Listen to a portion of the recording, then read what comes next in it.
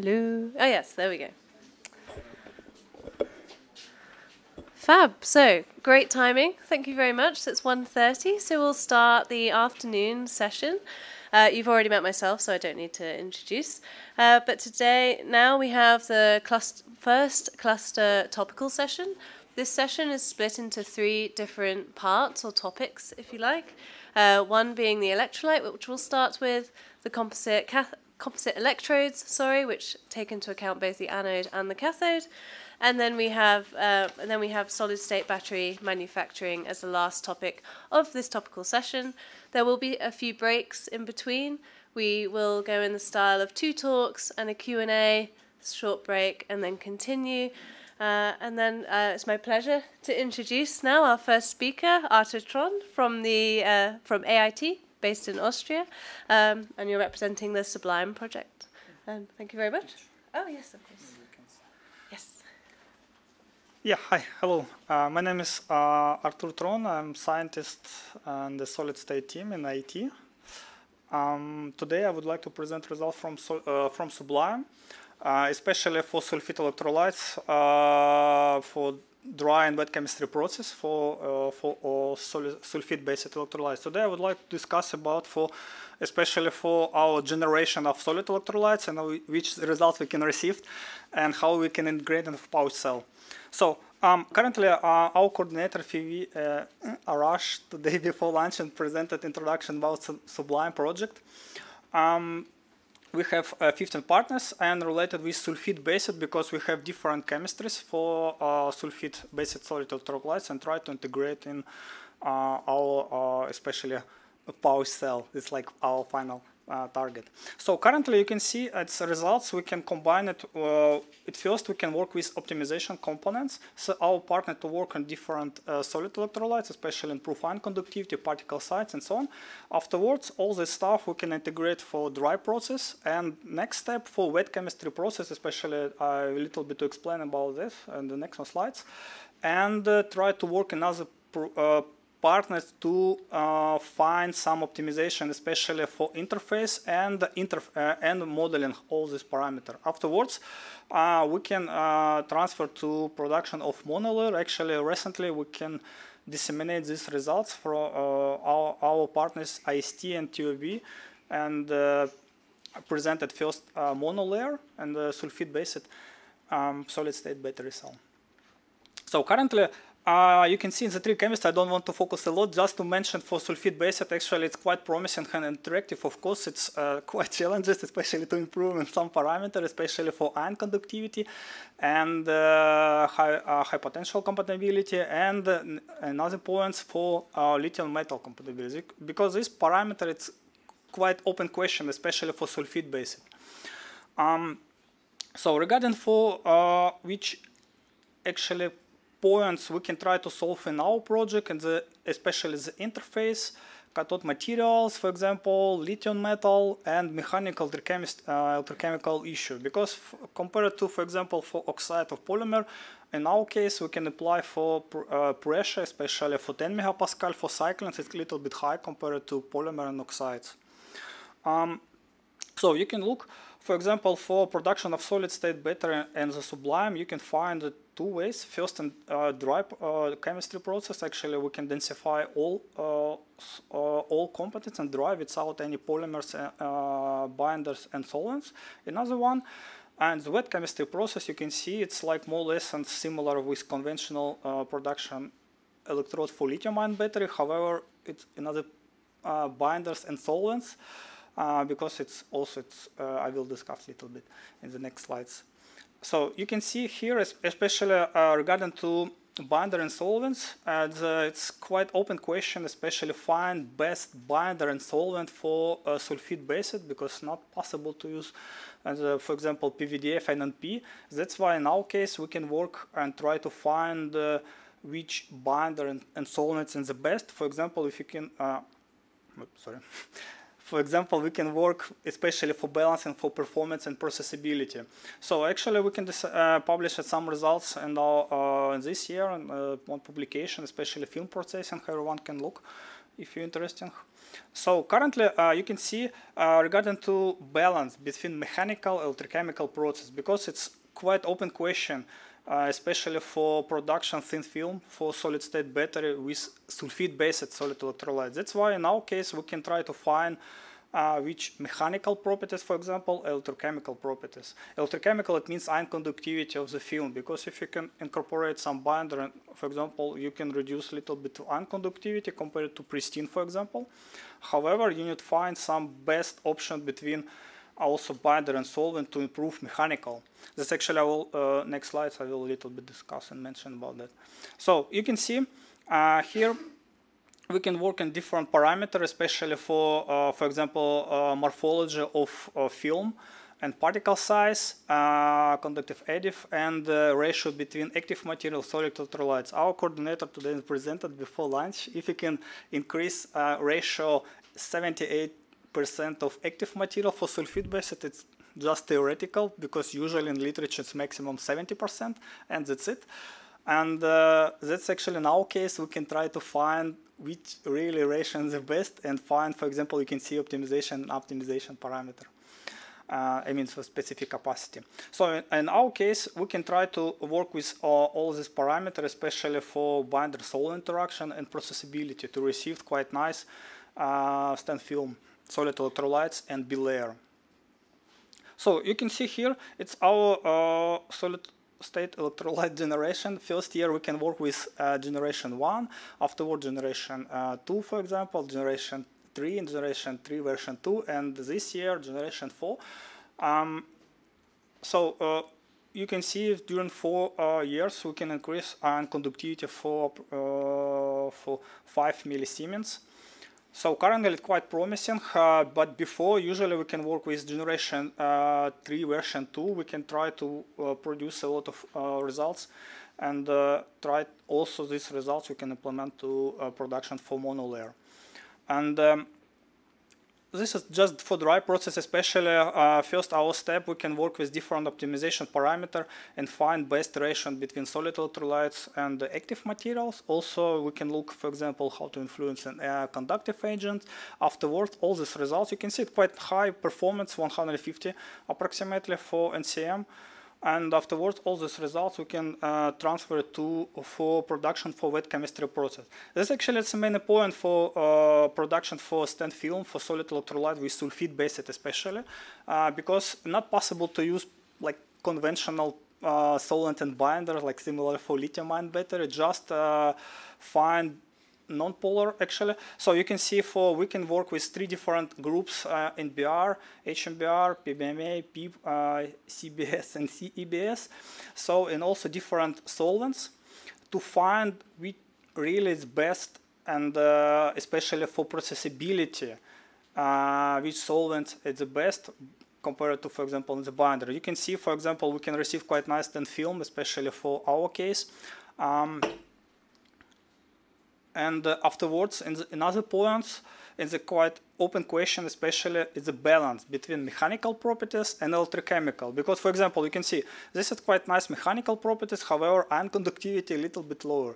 But for this one, mechanical quite poor, but ion conductivity is high. So uh, we can try to find really its balance between mechanical and electrochemical properties and try to implement two, especially for production for stand film or bilayer, for example, with cathode materials, I mean. Um, next, actually, uh, regarding to processability by wet chemistry process. So you can see, uh, for example, if you uh, also with our partners in our case we can work with uh, reducing particle size to if you can quite poor for example you can receive quite poor for uh, cost and also issue especially for interface between uh, solid electrolytes and lithium metal for example or indium and that's why we can also uh, try to increase uh, improve uh, our processability in stand film, for example, you can see here. And afterwards, this actually received quite nice electrochemical performance. So uh, this actually um, uh, solid electrolytes uh, bilayer, and you can see it's like for producing five wet chemistry process. And this parameter we can uh, work with, especially for production for bilayer and uh, also, you can see for uh, performance especially for different, for example, thickness of stand field, 100 and 300. So we can we cannot find huge difference. Just question is uh, unconductivity. And if, if you can apply for press device, for example, 10 megapascal, but if you can uh, transfer it all the cell, for example, in the coin cell, we can uh, receive approximately uh, 90 milliampere per gram. Of course, it's issue, interface issue, and also uh, issue related with uh, pressing, because in the coin cell, uh, pressing approximately 0.2 megapascal. If you press device, you, you apply during cycling, for example, 10 megapascal.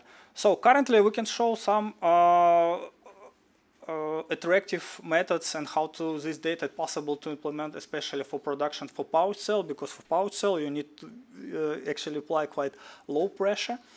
Um, and uh, here you can see for Sublime cathode electrolyte chain, and all these results from uh, our part and uh, from our partners, we can implement to uh, another partners who are responsible for production for monolayer. Actually, these results you can find our website or LinkedIn, for example. We also disseminate these results recently.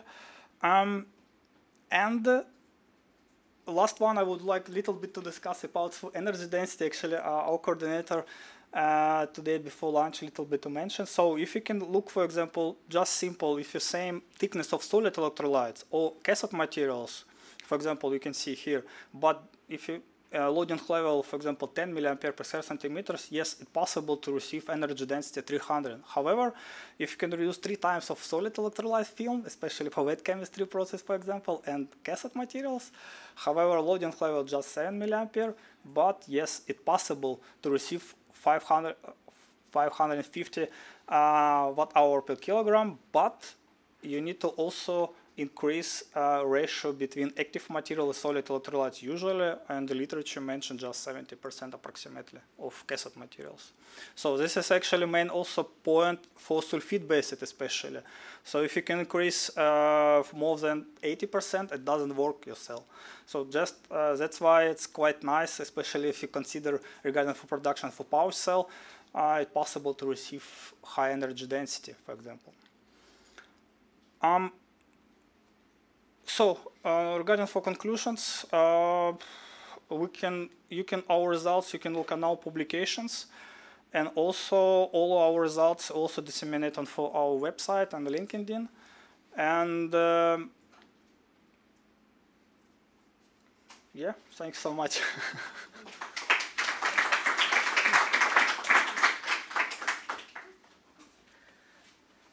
Thank you very much, Arta. That's fantastic. So remember, we'll have one more talk and then we'll have a Q&A. So please keep your questions with you and then uh, there will be an opportunity for you to ask those questions. Okay, so up next, let me dig out.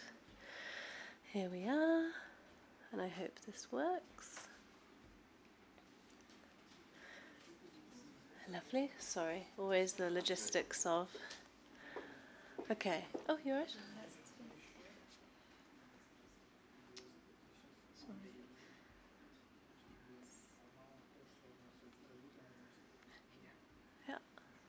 I had, yeah. Did it not come up? Oh, okay. no, no, maybe it's a bit slow. Okay, all right. So up next we have Timo Brandel from Daikin. Uh, please, the floor is yours. Uh, and uh, we'll be talking still on the topic of electrolytes and representing the Astrabat project. Thank you. Thank you very much. Um, so yeah, I will present some of the results we were able to achieve in uh, collaboration with Fraunhofer Institute on uh, composite electrolytes of fluoropolymers and LSRO particles. Um, but first, uh, I'd like to give a short introduction to the Daikin Chemical Group in general. Um, also, during the course of the Astrabat project, there was actually quite some changes within our organization, and we also had to undergo a journey. So uh, I think this is an interesting part. Um, then I will talk a little bit about the results, and then in the end, I also would like to give a very short impression about how we use the results that we have now uh, generated in Astrabat in future developments and what we plan to do as well. So um, the presentation is a little bit long. I have to make a, a, confession. So I will try to speed a bit through the slides and jump right in. So Daikin is a global company, and our headquarter uh, is located in Osaka, in Japan. Um, it was founded 1924, so we're ahead of a very exciting year, and we all hope that uh, our 100-year anniversary is going to be uh, great. Um, the global turnover is 28 billion, but most of the global turnover is generated from the one of the most uh, prominent parts, which is usually the uh, AC business, and nowadays we also do heat pumps, uh, which is an important part. Um, overall, Daikin has almost 85,000 employees in 315 different companies. But uh, here in Europe, we work on the Daikin Chemical Europe. Um, we also have some production sites in Europe, uh, Daikin Compounding Italy, uh, refrigerant recycling, and also a production site for polymers in France. Um, but I personally work in the Daikin Innovation Center, which was opened in 2022 so just last year uh, during the course of the Astrabat project. And in Europe, we uh, actually only started our R&D activities uh, together with the Astrabat project in 2019. Um, and then there's also an entity in the US. So um, the Daikin Chemical Europe Innovation Center uh, I was mentioning before uh, is actually located in Dortmund uh, in the west of Germany. Um, we now, since the opening, have 4,000 square meters of laboratory capacities and we work in four different um, fields. Um, so one of our interesting topics is surface modification, so screen modifications, sensors and everything. Um, electronics and automotive, so high voltage applications, coating of wires, um, electromotors and I have been working in the energy storage material. Um, one of the key points of the DCIC is that we are an open innovation center. So we actually do have uh, co-working spaces where our collaborators or startups can work together with us in the laboratory and actually do their science and their project ideas with us. And this is something we are actually very proud of and we always uh, want to want people to come to collaborate to our center and to work with us in the laboratory, not only in these type of sessions. So and generally, our battery solutions um, range through a very wide area. Um, since we're a company that is focused on fluorine chemistry a lot, um, most of the things we do are targeted on high voltage applications. Um, but we also have materials, for example, for battery gaskets, um, where we do a very effective sealing uh, technology. Then we have a variety of cathode uh, materials. We have a standard cathode binder additive that reduces scrap, improves uh, the compactability, uh, and we also have a, a new product that uh, is going to come to market very soon, which is a combination of this binder, of a fully formulated cathode binder, together with single wall carbon nanotubes to improve the conductivity. Um, just recently, we started to work on cathode binders for dry processing. Um, and there we are very active also in a lot of other research projects and try to bring dry process cathodes and also dry process anodes to market. Uh, and another part uh, that we are working on is effective electrolyte additives that uh, improve uh, cycle life, high voltage stability or reduce flammability of liquid electrolytes. On the R&D side, um, we just heard a very interesting talk about uh, sulfide-based solid electrolytes. And in case you don't want to go for 100% sulfide, uh, we also work on binder solutions um, that help the, um, with the solubility and that can be used, or the binders for dry process. Uh, there's uh, coating solutions for these sulfides that uh, reduce the H2S production, and then the polymer electrolyte development that was done uh, within the Astrabat project is what I'm going to talk about today. And um, this is also the next part, so the, the results. First, uh, I think we've just seen this slide. It's a slide that regularly comes when you talk about electrolytes. Um, so here for this, I um, took the ceramic, the polymer, and the liquid part of these electrolytes apart. And of course, all three of them have different uh, pros and cons. Um, so ceramics, of course, they are non-flammable and they are great in terms of stability, but usually all the cells that are built with these solid electrolytes need, need high pressure to maintain the good electrode contact. And then we have the polymer, which we are, of course, working on a lot, and then uh, they are great in terms of adaptability. They are easy to process. They are not very uh, expensive, but we all know that their ionic conductivity usually is not very good. So the cells that are used and built with polymer electrolytes usually work at high temperature. Um, in terms of lithium metal, then you also have this problem that there's no dendrite growth suppression because the mechanical properties of the polymers are not good enough. Uh, and then, of course, there's the standard liquids, um, which can be tailored very easily with all the additives. They are cheap, they are um, comparably good understood, but all of these uh, problems we are tackling within our projects to uh, get rid of the metal. So uh, the solution of all of the projects, I think, is that we are working on hybrids, and then you can think of all these different binary hybrids, uh, the, the gel types, the composite types, or the polymer and ceramic even. But the nice thing about the Astrabat project, I think, was that we're working on actually a multi-component hybrid, so we're thinking of all different components, uh, ranging from, in our case, it's a PVDF copolymer matrix, um, then the lithium salt plasticizer component that makes this uh, copolymer matrix uh, conductive in the end, and then we also use these uh, fillers within our matrix to uh, increase the conductivity and improve all the other um, properties of the electrolyte system. So Daikin's contribution to this is the PVDF uh, copolymer electrolyte. Um, so we supply high voltage um, stable materials. Um, the adaptability I was mentioning before uh, can be easily tuned, can be used with very various solvents, and uh, one of the st strengths of the Daikin PVDF copolymer materials is that compared to other PVDF systems, we have uh, decreased glass transition temperature and uh, decreased crystallinity, which usually leads to increased ionic conductivities of these polymer electrolytes in the end. From the LSZO side, which was uh, developed by uh, Fraunhofer IKTS, um, we were aiming to get the smallest uh, possible particle size um, the small particle size distribution is important for two different things. Uh, Sophie this morning presented that we were working on uh, printable electrodes and printable electrolyte systems.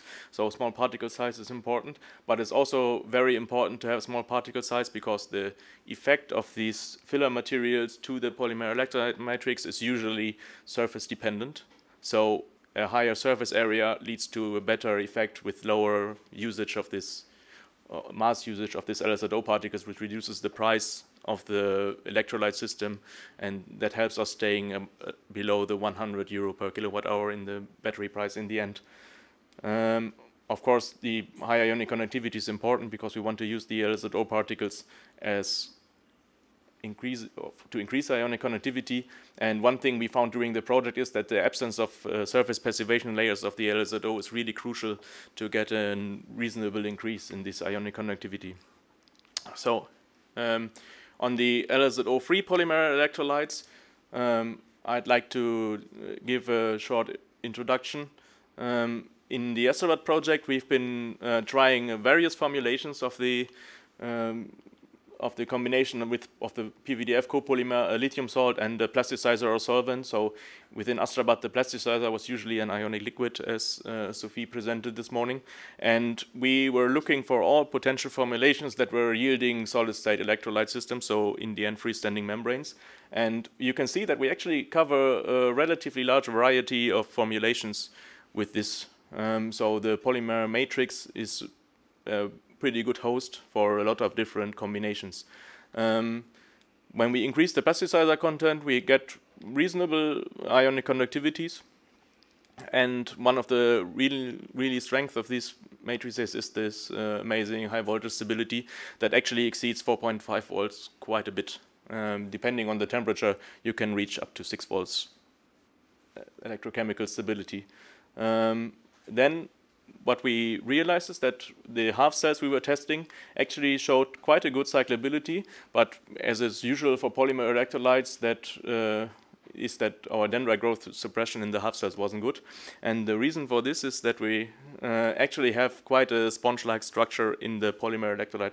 So this is a, just an SEM image, and this is in uh, higher magnification of this. And you can really see how this polymer matrix uh, has a lot of holes, uh, which is caused by the formulation uh, here.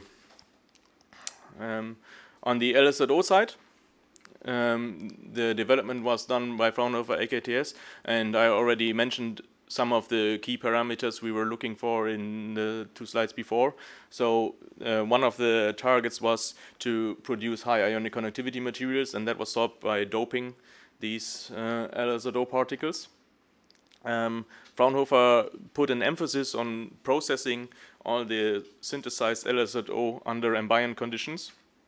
So that means um, it's not necessary to produce the LSZO in a dry room atmosphere, what is important is that the surface layer passivation that uh, results through the ambient conditions uh, production afterwards is removed and they developed a heating procedure by checking different TGA protocols and then reheated the LSZO particles that were produced afterwards to get rid of this surface passivation layer.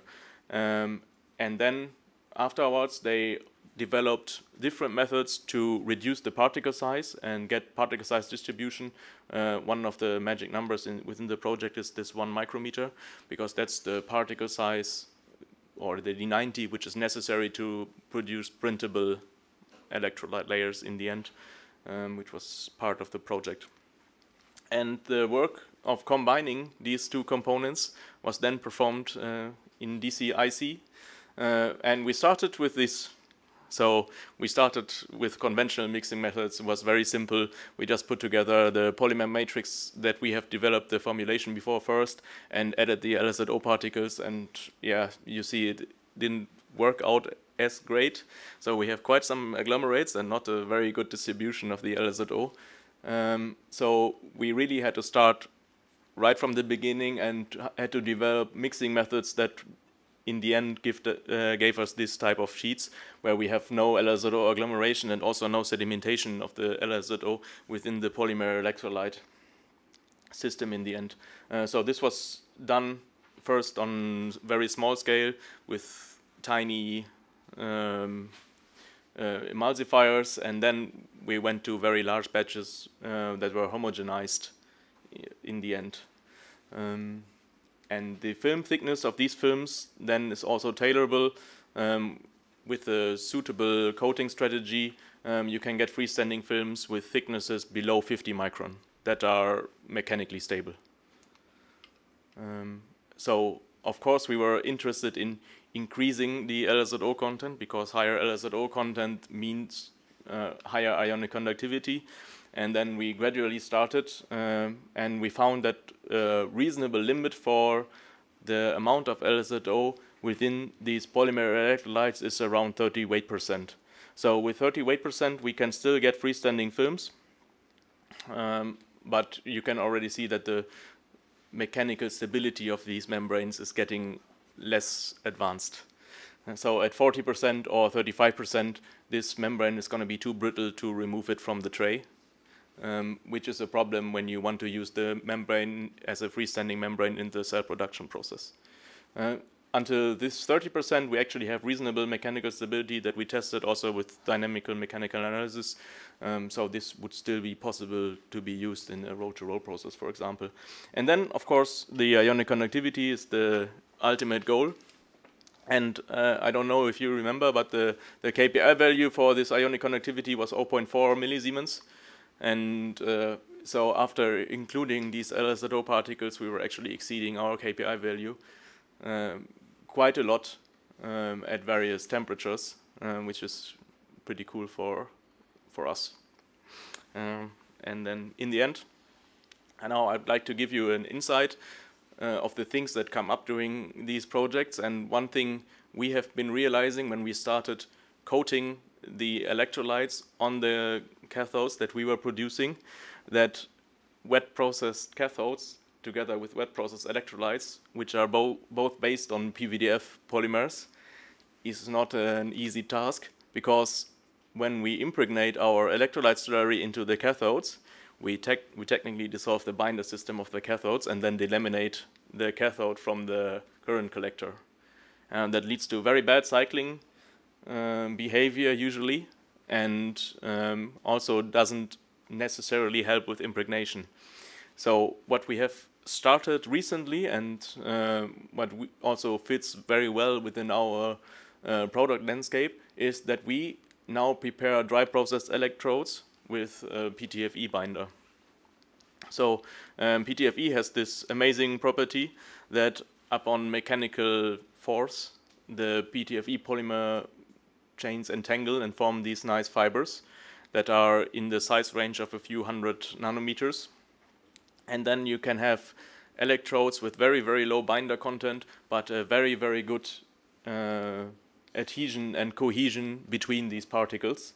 Um, also, you get rid of the uh, NMP, which is one of the great uh, drivers for CO2 footprint in cathode production and in energy consumption during uh, cathode production. And since PTFE is absolutely insoluble in most of the solvents PVDF is soluble in, it's an amazing uh, alternative. And then the in uh, the intrusion process or the uh, impregnation process can be done on electrodes la large such as this without ever delaminating the electrode. So I'd like to thank uh, a few people uh, that uh, cannot be here today. The co-workers that have been working on the Astrabat project with me that are not with Daikin anymore, unfortunately. Um, some people from Fraunhofer IKTS. And if you have any questions, or if you want to work with us in the Daikin Chemical Europe Innovation Center, I would be very happy to host you. Uh, just write an email, uh, and we will be very happy to have you. Thank you very much.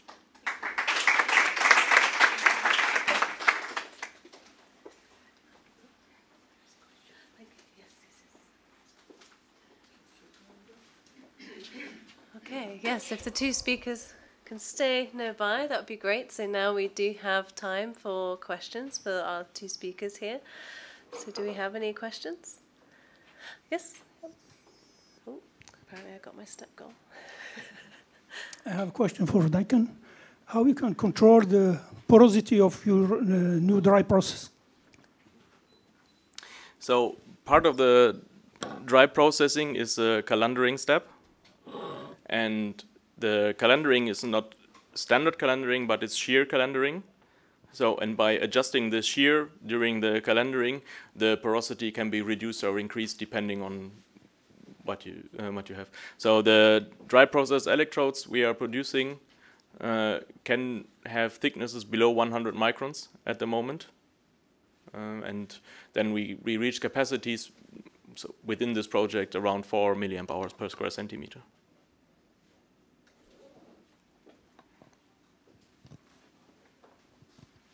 Hi, I uh, also have a question for you related to the PTFE that is being used in the dry processing, the dry coating. Do you see any risk with the new EU legislation banning these uh, type of PFAS, or is there an exemption for these type of applications? Well, in the current proposal, there is no exemption at all. Yeah. So, um, of course, there's a risk, but there's a risk for all fluoropolymers and all materials involved in battery. Uh, and I think it's part of the task of industry and academy and all the mm, institutions like BEPA uh, together to inform all the relevant stakeholders that without an exemption we will have a lot of trouble in our energy transition.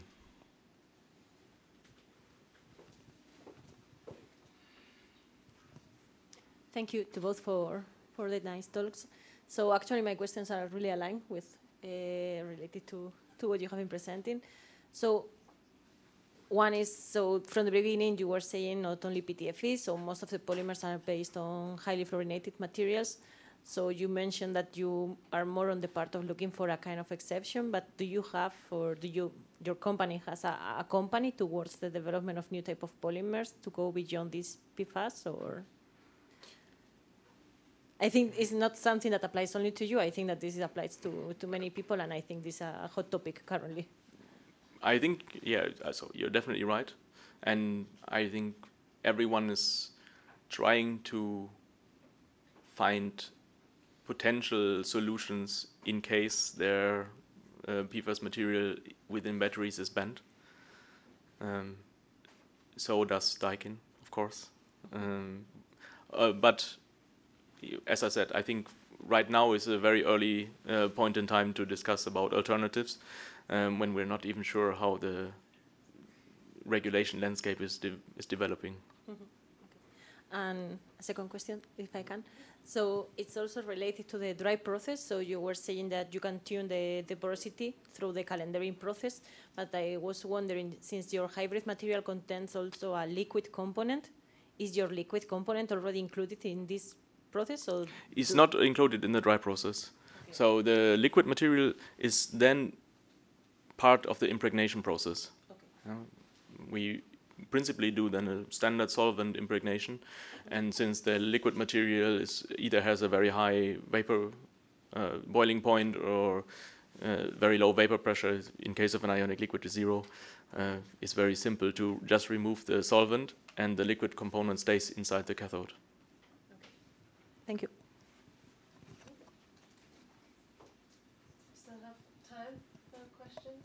Couple of five minutes. I know that I had a couple, so I suppose I'll go with it. Um, but if anyone else, please do feel free.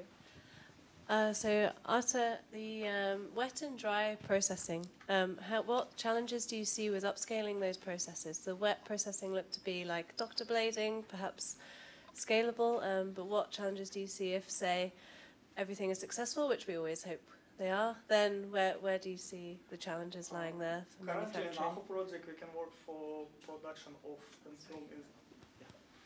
Uh, currently, we can work with wet chemistry process in a glove box. Um, however, for example, our pro, uh, our partner from TUB and AST work in the dry room. Yes, of course, it's a little bit complicated, especially for sulfide based because it's quite toxic materials. Um, but for doctor blade, yes, it's possible. That's actually it's our, my presentation. If you can find some interaction between binder and solvents, you can receive quite nice, especially for stand film. Question is uh, if uh, you would like to build, for example, uh, line. Yes, it's possible, but currently we can work as, for small cells uh, for show like process uh, for like attractive this technology or not. But I know, for example, PULSELiON project, currently we can work with uh, production for 1 ampere hour and 10 ampere hour. So this is just one year of this project. I hope after three years we can receive really um, power cell. So in general, yes. Okay, yeah, I mean, I suppose everything really is perhaps possible. Excellent. And I had another question. Sorry. For yourself, Timo. Um, hang on, let me check.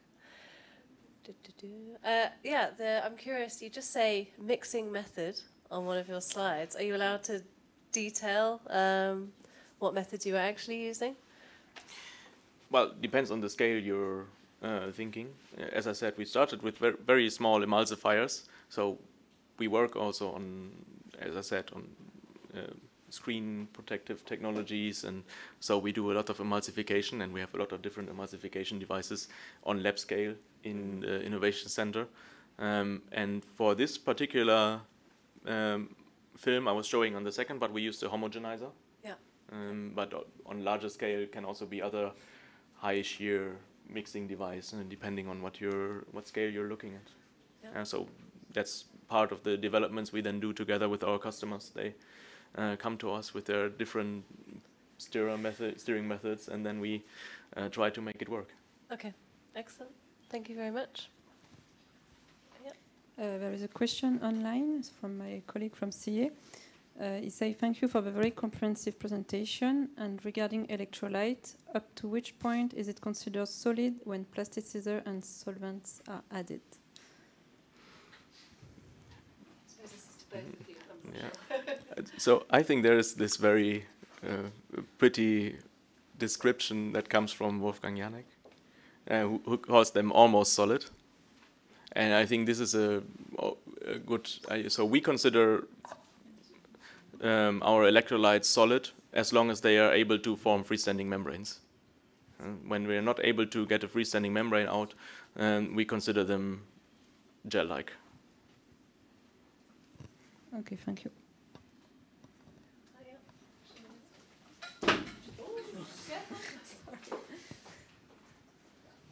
Thank you very much for the nice presentation. I have just a short question. So, how thin can you produce these layers? Uh, what is there minimum uh, border?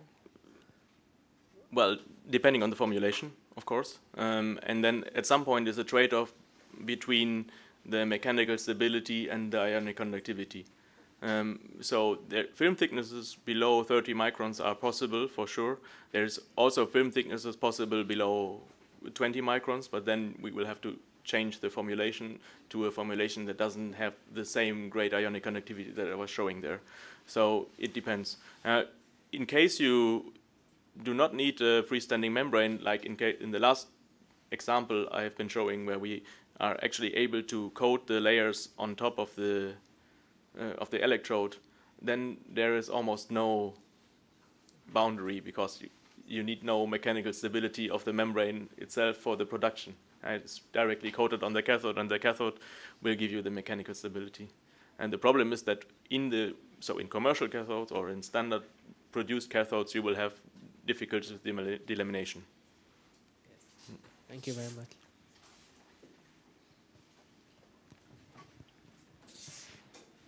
Uh, uh, one th thank you both, but my question about uh, sulfi sulfide electrolyte. So when you cast uh, slurry, I don't know how you call it, do we need some like post-processing of this film? calendaring or kind of um, compaction or, or it's just self-standing by itself? No, usually, yes, we need to densify to reduce for uh, first thickness of and of course, you can, if you can densify, you can reduce an, uh, interfacial resistance and increase ion conductivity. So uh, actually, in our case, we can uh, we can do it. Uh, we, produce a stand fill. Afterwards, we can cut, for example, different size what you want. For example, 10 millimeters, 3355, and so on.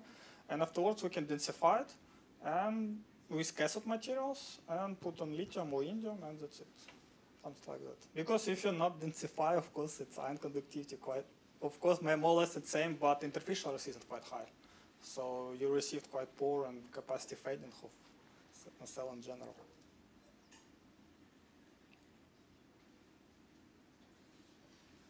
Yeah, thank you. Thank you. Any more questions? We do have small amount of time. There's enough for one more if needed. Otherwise, uh, there's plenty of time for networking, so um, please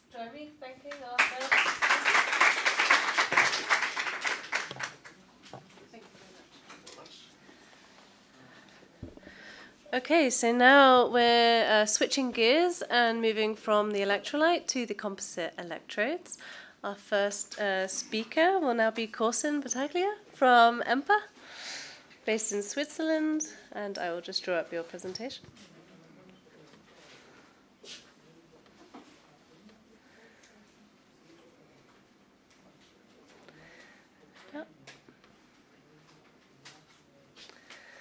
And there we are. So the floor is yours. Thank you. Thank you, Amelia. Okay, so um, we are part of the Solidify project, which is coordinated by IMEC or by Amelia, I have to say. That she is really the running the day-to-day -day business of uh, the, the project. And the results I'm presenting here is basically uh, from a paper that we published last year, which was a collaboration between EMPA and uh, Solvionic. Uh, maybe now you can hear me a little better. and uh, actually, I will only talk about the 4 volt batteries. The 5 volt battery, in the interest of time, I took it out, but Lucy will uh, uh show you these results tomorrow in her uh, presentation. Okay, so we are working on an electrolyte based on a polymerized ionic liquid, and we feel that the advantage of this type of materials compared to the classic polymer horses that the polycationic backbone is much less prone to strong lithium coordination. Um, ionic liquids have a tendency, depending on which ones you choose, but they have some available with uh, very high oxidative stability and they're also non-flammable. And so the objective of this work was to basically develop an electrolyte which is compatible with lithium metal at the same time um, as with NMC 811 or even LNMO that Lucy will show you tomorrow. Um, basically, so we're not using a bilayer approach. Um, enables room temperature operations. Actually, it's not the requirement here. It's also not a requirement in the call text, but the results I'm showing you today is room temperature and uh, basically gives excellent cycling stability and high operational safety. And so we decided to work with this uh, cation and we use it in a polymerized version like it's shown here. So the pyrrolidinium can come in all kind of different variations, different kind of functional groups, and there are different ways to polymerize it. But after quite some extensive screening, we uh, went for that one. Um, we use FSI as an anion, and um, unlike the TFSI, FSI is not subject to the PFAS regulations, so that's a good thing. Um, we actually chose that time FSI also because it has quite nice properties in terms of forming the SEI on the lithium metal surface. And so um, we also use lithium FSI as a salt and then basically pyrrolidinium FSI as a plasticizer. And uh, we have a bit the same definition as was just given before, that we call it solid, one you basically can handle it with tweezer and uh, you don't get wet hands.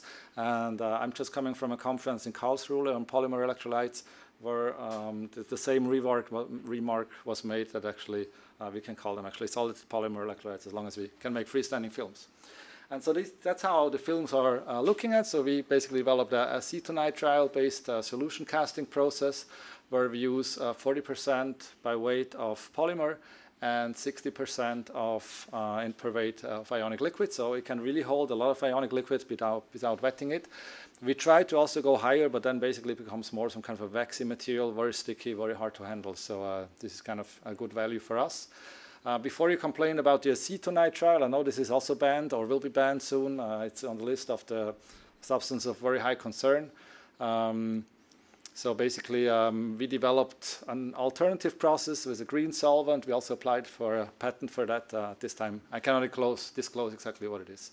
But it also allows to make these uh, casted films uh, which we can cast on a substrate, and then basically we peel them off, and that's how you see them. Um, basically how we can handle them even with the gloves.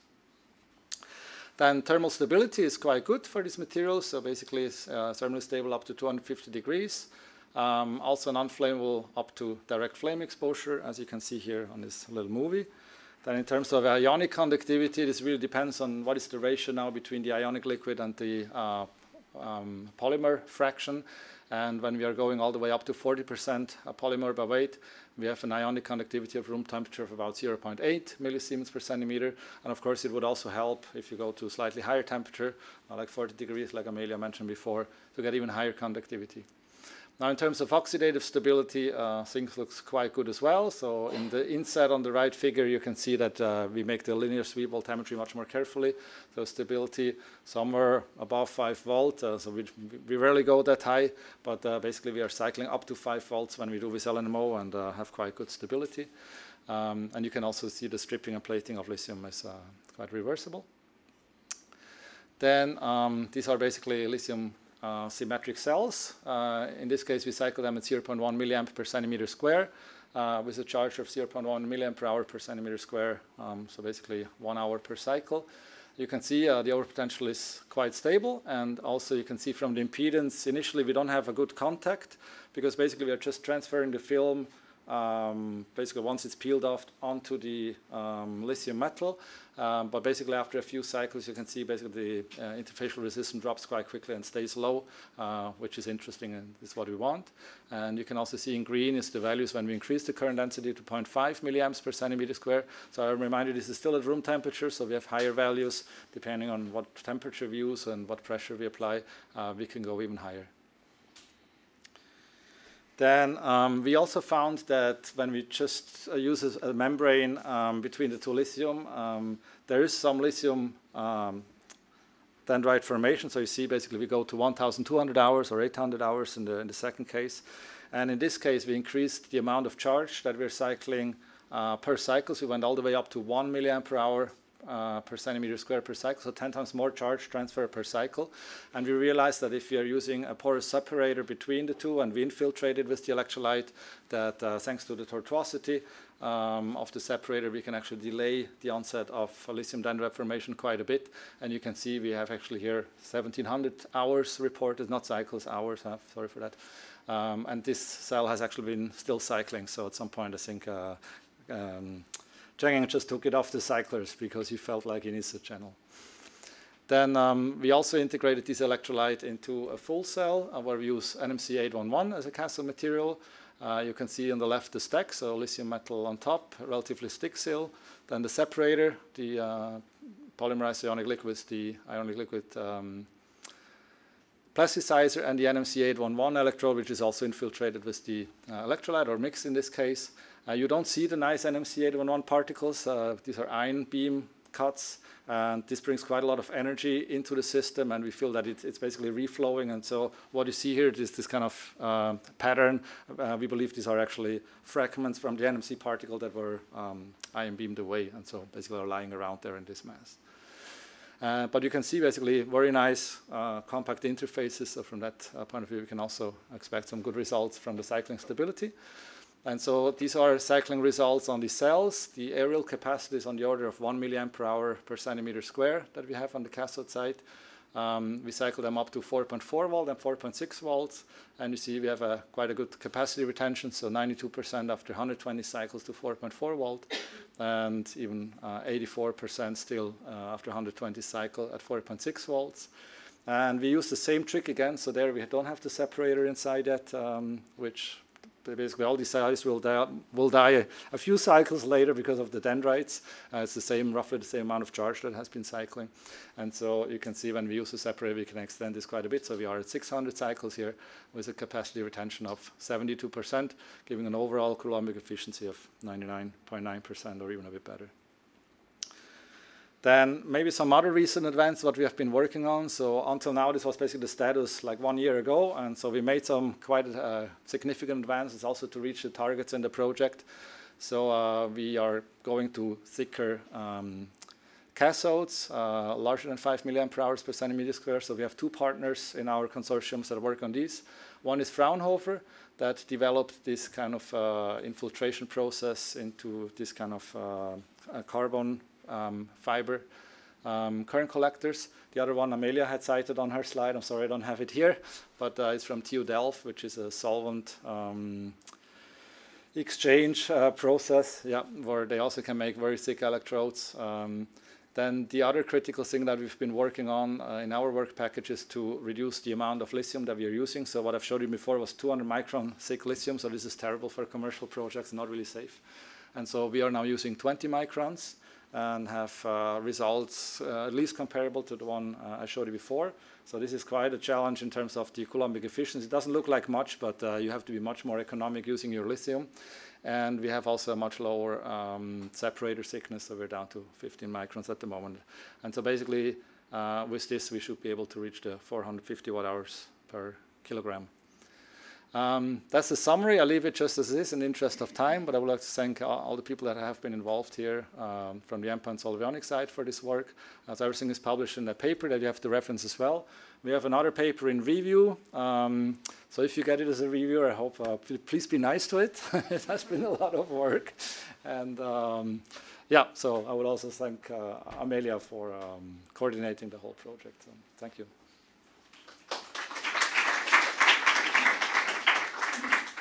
Thank you very much, Corsin. Excellent. So again, please, we will have a Q&A after two more talks, so keep your questions with you, and then there'll be an opportunity to ask them. Uh, so thank you again, Corsin. So now, of course, uh, we have um, Astrabat being represented uh, by Johan Odat from uh, Nanomakers, and I'll just swap over the presentations, and then the floor will be yours. Where are we? And online, if the um, wider screen hasn't worked, please. Is all good? Perfect. Great. Okay. The floor is yours. Thank you. So hello everybody. So I'm Johan Uda from Nanomakers and we are part of uh, Astrabat project and so I will uh, introduce the silicon for solid state batteries and then it will be followed by a presentation of uh, Gwen on the specific results for Astrabat project. So um, uh, Nanomakers um, is a startup um, which is quite uh, quite young, and we are a spin-off of the CEA uh, from uh, the site uh, near Paris in Saclay. And um, we are using a technology which has been developed at the CEA, which is called laser pyrolysis. And uh, this, this technology enables the formation of unique silicon-based nanoparticles. And those particles um, has a very narrow particle size distribution, and um, they are very good uh, in terms of uh, purity and qualified for the semiconductor industry. And um, uh, since, uh, since the beginning of Nanomakers, we have scaled up the process up to 40 tons now, and uh, we can, uh, we can supply um, so large quantities of, of materials. So we have two types of products. Uh, the first family is silicon carbide, so mainly for the semiconductor industry. it's mainly used as a filler for elastomers. Uh, we have different sizes available, different uh, coatings, uh, different types of doping and purity. Um, but for batteries, uh, we have another family, which is the silicon family, of course. And um, we have uh, different products. Uh, the two main families are pure silicon particles, and the other one is carbon-coated silicon particles. Uh, different sizes are available and our particles are fully crystalline, which is important to have some, uh, some good stability uh, in water slurry, especially. So um, um, uh, silicon has a very good capacity uh, compared to the most popular material for the anode, which is graphite. So graphite has a capacity of about 350, 375 milliampere hour per gram. Um, now, uh, silicon oxide uh, is, uh, is used since many years by some car manufacturers, especially uh, Tesla. And um, so it can, uh, it can improve the capacity of the anode up to 4, 425, 450 milliampere hour per gram. And um, the next generation uh, will be a silicon metal as the anode. So pure silicon has a capacity which is 10 times higher than graphite. But uh, today uh, it can't be used um, pure. It, it has to be diluted um, with, uh, with other species, and the, the, most popular one is graphite. So then uh, you have uh, you have the anode, which is uh, quite similar to standard anode um, with active material, which is micrometric or, or, or mix of sizes, additives, binder, and um, the, everything on the current collector. So um, silicon has some challenges in batteries. Um, maybe most of you are, are, aware of this, but uh, anyway, I will remind it. Um, so doing uh, silicon has a very high capacity. Um, but uh, when, uh, when we form an alloy between lithium and silicon, there is a huge expansion of the silicon, which is uh, close to three times in volume. And so uh, with big particles, uh, you, doing this swelling, uh, you have some pulverization and some quacking of the particles. And after a few cycles, you have a lot of small particles in the anode, and you lose the contact with the other materials of the anode. And so then you, you lose capacity. So uh, um, one, uh, the best way to solve this problem is to have nanometric particles. Uh, it has been shown by many studies studies that below 150 nanometer, uh, the silicon particles have an elastic behavior, so it's not anymore uh, quacking. And so then you, you form an alloy uh, which is stable uh, in, in, in volumes from one cycle to, to another. Then, uh, as you have small particles, particles, you have a quite high surface area, and so then the, the problem is the SEI formation. And so for, um, for this, we have developed, developed uh, for mainly for uh, liquid state batteries, but also uh, it, it, can be used in solid state batteries, um, carbon coated silicon. And um, this layer around the, the silicon uh, prevent uh, a large part of the detrimental SEI formation uh, reactions. And so you have better stability uh, during cycling and uh, you have better compatibility with uh, the binders and the carbon species. So um, well, quite an easy way to use silicon in, in anodes is, um, is to, to use a binder, carbon additives or others, a solvent, graphite, so really like uh, to prepare ink, which is very which is the, the main one for for for standard batteries, and you can just add nanosilicon in the slurry. You can you should adapt, of course, the the, the viscosity, but it can be used quite readily. And uh, uh, if you use from 1 to 5% silicon, then you, you can uh, still have some, uh, some good um, irreversible Coulombic efficiency, so higher than 90%. Uh, uh, and uh, you can reach quite long cycling, so several hundreds of cycles, um, at uh, C over 3 uh, with, uh, with standard carbonate electrolytes. So um, we, for solid state batteries, uh, the approach can be uh, quite similar. Uh, instead of having a binder, you have an electrolyte. So different processes can be used. It can be uh, with a solvent, with a solvent, but the approach can be the same. And um, uh, silicon is a, a, very good candidate for solid state batteries. Um, so there is lithium, which is widely studied, but uh, silicon is, has a, a good, uh, good potential also um, because um, uh, the electrolyte is very different from carbonate, so the surface reactions are quite different and, and we can expect them to be more stable. Uh, the capacity is of course much higher than for graphite and there is no dendrite formation, which is the case for, for lithium. And also, uh, it's much more easier to handle than uh, lithium foils also.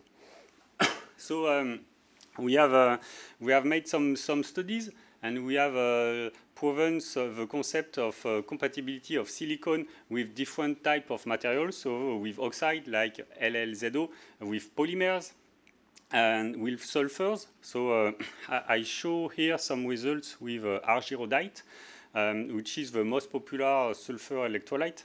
And um, so you can see that uh, you can have some, some, some quite good stability uh, with 12% silicon and carbon. When you add some graphite, of course, the capacity is uh, increased a little bit and the stability quite similar. And then uh, when you increase again uh, the capacity with 30% silicon, the, the, the, overall capacity is of course higher, but the stability is, is less good. And uh, well, this is only first results. And uh, what what, what we have also observed is that we don't reach the full capacity of the material uh, due to the electrolyte, which uh, prevent the, the, the access of, uh, because the conductivity is too low. And, uh, and so there was a, uh, in those tests, there was a quite high limitation due to the electrolyte. Um, but to develop a new material uh, for the anode, uh, the interest of silicon is that you can tune the material and uh, tune the interaction with uh, between the silicon and the electrolyte in order to, to optimize the, the anode formulation. Um, so in brief, uh, silicon has a very high capacity, but uh, it, it, should be used in limited amount to have, to have a, a good cyclability. Uh, the nanosilicon is very important to avoid swelling, but then you have to, to solve the issue of uh, SEI formation. And um, so it's partly solved by the carbon protection around silicon. And for, for solid state batteries, there is a huge potential to, to have um, to, to play on new interaction and to, to avoid detrimental SEI formation. And so um, our silicon is available in quite large quantities. Uh, it can also uh, be easily scalable for large amount to, to supply uh, gigafactories. And uh, also, quite important, um, we can tune our silicon and adapt it to uh, each specific electrolyte. So um, now uh, Gwen will, um, will present some results obtained in Astrabat project uh, with, uh, with silicon and uh, the, the electrolyte developed within this project.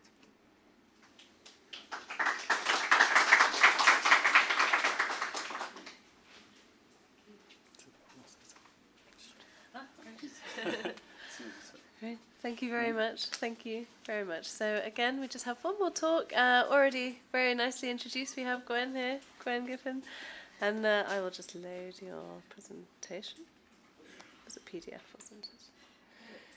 It's a PowerPoint that I just okay. launched like an hour ago. Oh yeah, perfect. I think we're already there. We're yes, here we go. Sorry, one more step. We should be good to go. Okay, thank you very much, Gwen. Thank you very much. So I am also going to talk, as Johan just mentioned, uh, about silicon anodes um, that we developed in the Astrabat project. So I'm not going to go into detail here. I'd just kind of like to point out, as Sophie also mentioned this morning, in Astrabat we were looking at a dual polymer system. The catholyte polymer came from Daikin, as Timo presented a little earlier. And then uh, on the anode side, unlike the other projects, we've been using silicon, and we've also been using a polymer that has been developed at our institute, Fraunhofer ISC. So, our polymer system, it's known as a hybrid organic inorganic polymer electrolyte. So it's a curable electrolyte. Uh, this means we can basically do all sorts of processing steps in the liquid state. Uh, you can kind of imagine it as, let's say, a rather uh, thin honey, or, I mean, the viscosity depends on the specific uh, functional groups. Um, you have here in the middle, there's our pointer. You have here in the middle the inorganic part. Uh, it's based on siloxane chemistry, so you have the SiO uh, 2 backbone.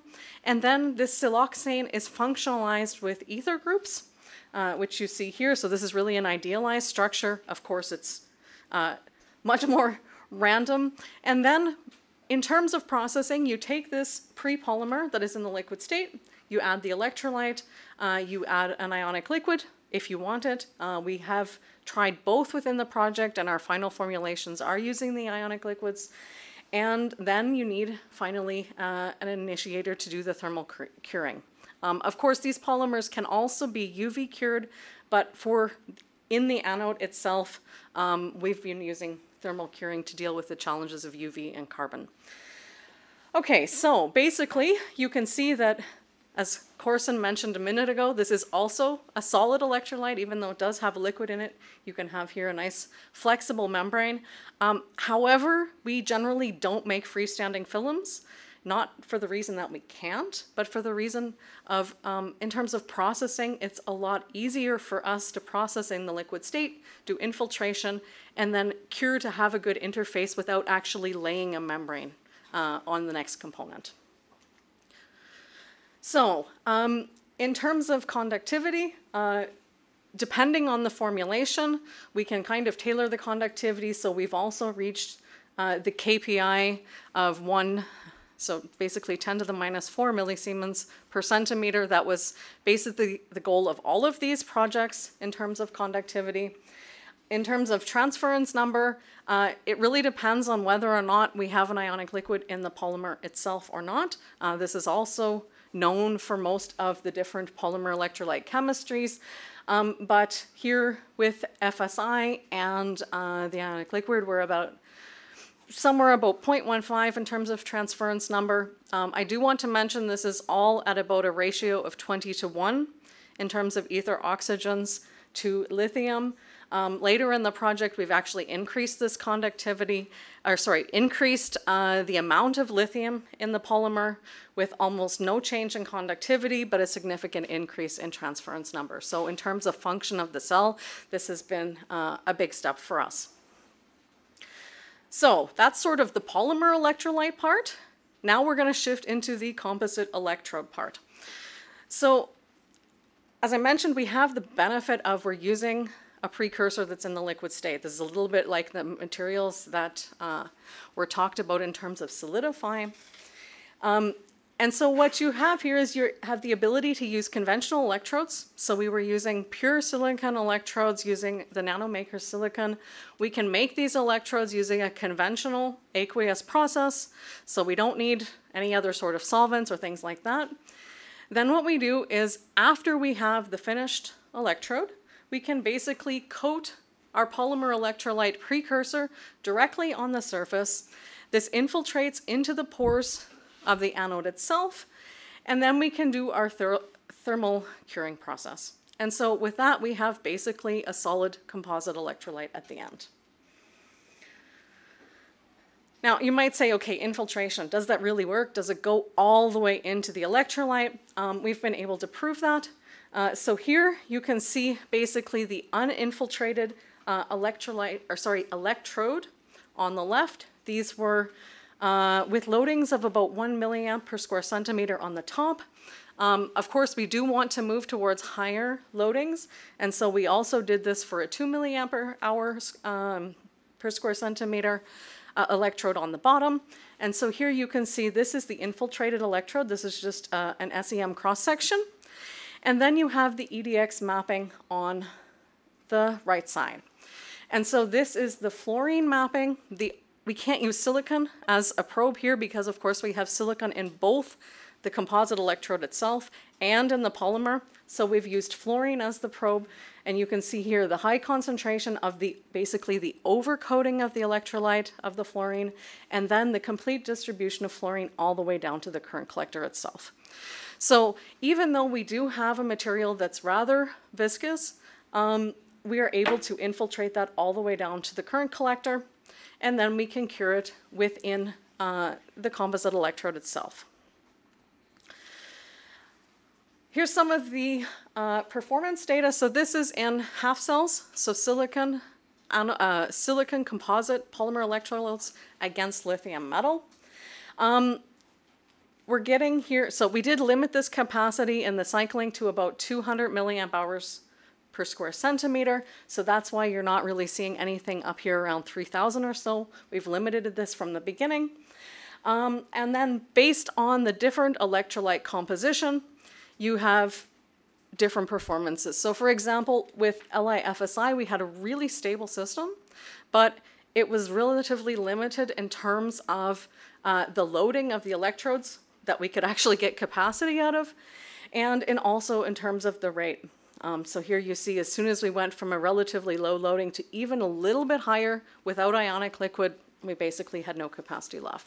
And so basically in the end, we have a trade-off between the best usable capacity, capacity retention, and Coulombic efficiency. And so this is why for the basically the rest of the studies and the rest of the project, also, of course, we need to combine our electrolyte with that from Daikin, and uh, that we move towards this LiFSI uh, ionic liquid system.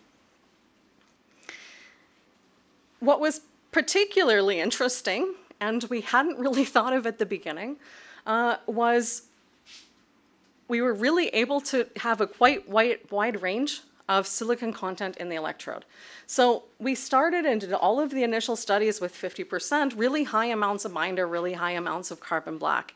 And as we moved through the project, particularly in the beginning phases, we were able to see we could go up to almost 85% of silicon and still have reasonably good performance. Um, and that we sort of had an optimum in terms of here this 75%, 15%, and 10. And so this is then also uh, the electrode that we tried to take through the rest of the project, or we did take through the rest of the project. Okay, so basically, what have we actually achieved? Well, we have a hybrid polymer. It's highly flexible. It has a relati relatively high conductivity. Um, we have a relatively easy method to prepare the silicon anodes. So we have a conventional electrode process, an aqueous electrode process that we can then post-infiltrate. So this should be something that's relatively easy to scale uh, to a roll-to-roll -roll process. And uh, at least at this point, this is still a little bit earlier. We have, of course, done this in a full cell by now. Um, we've validated this performance in half cells and also now in full cells, although I haven't showed you the data.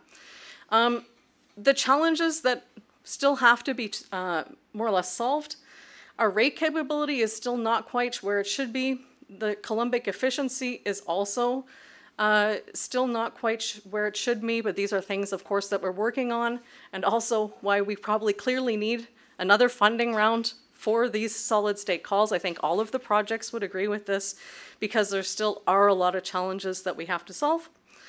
And with that, thank you very much for your attention.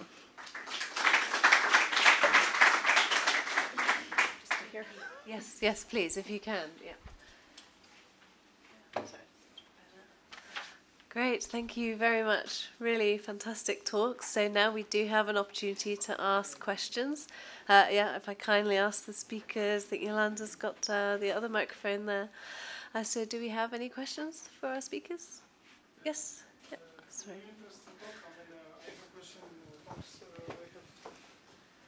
question why do you need this impregnation step and why you cannot prepare all in one pot it will be easier in one process. It, it is i can imagine it would be easier in one process. We thought this at the beginning. This was actually the very first thing we did as we said okay we're going to try a one step synthesis or not one step synthesis but a one step preparation in terms of um, the cathode.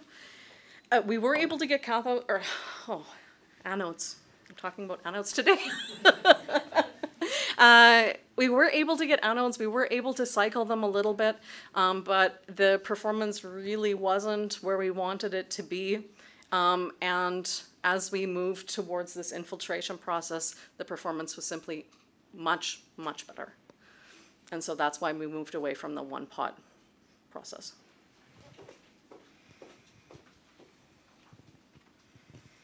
Thank you to three of you. My question is also maybe because it was the, the last the last one presenting. So I'm curious about so following the question from from Andre.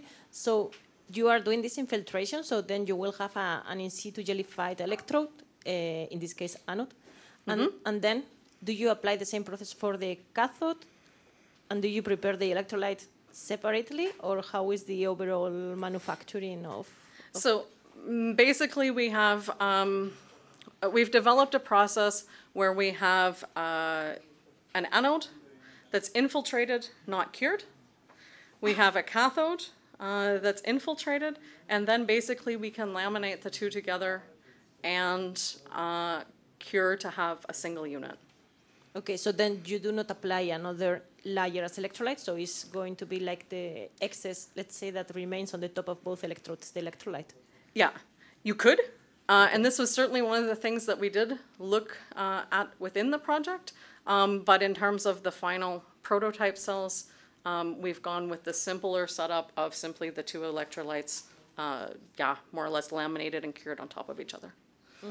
Okay, thank you. Uh, thanks to three of you for the presentations. I have uh, some question, well, one question for the regarding the electrolyte stability that you have presented for four, uh, 4.5 volts. They were uh, 4.6. What about uh, 5 volts? You were saying that that there are also some other examples. Are these electrolytes stable up to 5 volts or? It's actually, uh, I mean, we use the same electrolyte and cycle it with LNMO, and LNMO, you know, basically up to 5 volt. The plateau is a 4.9, and uh, you will see the results tomorrow in Lucy's presentation.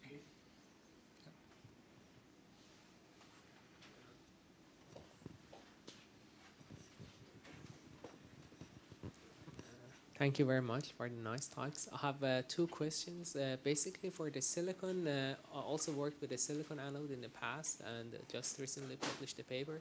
So with the sulfide electrolyte, uh, we we we decided to use micron size silicon because uh, we noticed that with the micron size silicon, the conductiv electrical conductivity is much higher. Then you don't need any carbon additive, any electrolyte, nothing. Uh, so you can have a 90, uh, electrode made of 99% uh, silicon and then 1% uh, binder, and it works. So you get you put it in contact with the uh, with the electrolyte, and it works. So my first question is uh, why you decide for nanosilicon while microsilicon works in solid state batteries. And my second question is with this ionic liquid. So it works very nice. It is it's perfect uh, what uh, of course uh, you uh, you showed but uh, just the question is on the cost so if it makes sense at the end to to upscale them thank you very much I don't use silicon, so I think that was Yeah, I guess for the you. silicon question is to me, although maybe I refer the silicon question to Johan. Yeah, i- i- it's true that there are some nice results with microsilicons, uh, but uh, to, to usually to, to reach very long cycle stability, uh, the nano is usually better. So uh, it's it's always a matter of formulation, and also one important topic is the full cycling of silicon or not, uh, because sometimes uh, microsilicon is is used uh, not at its full capacity. And uh, like this, we can have very nice stability with micro silicon, but then you have a large dead volume, I would say, of silicon. And so uh, if you want to use all the silicon, then it's, uh, it's recommended to use nano-size silicon. Is your silicon doped?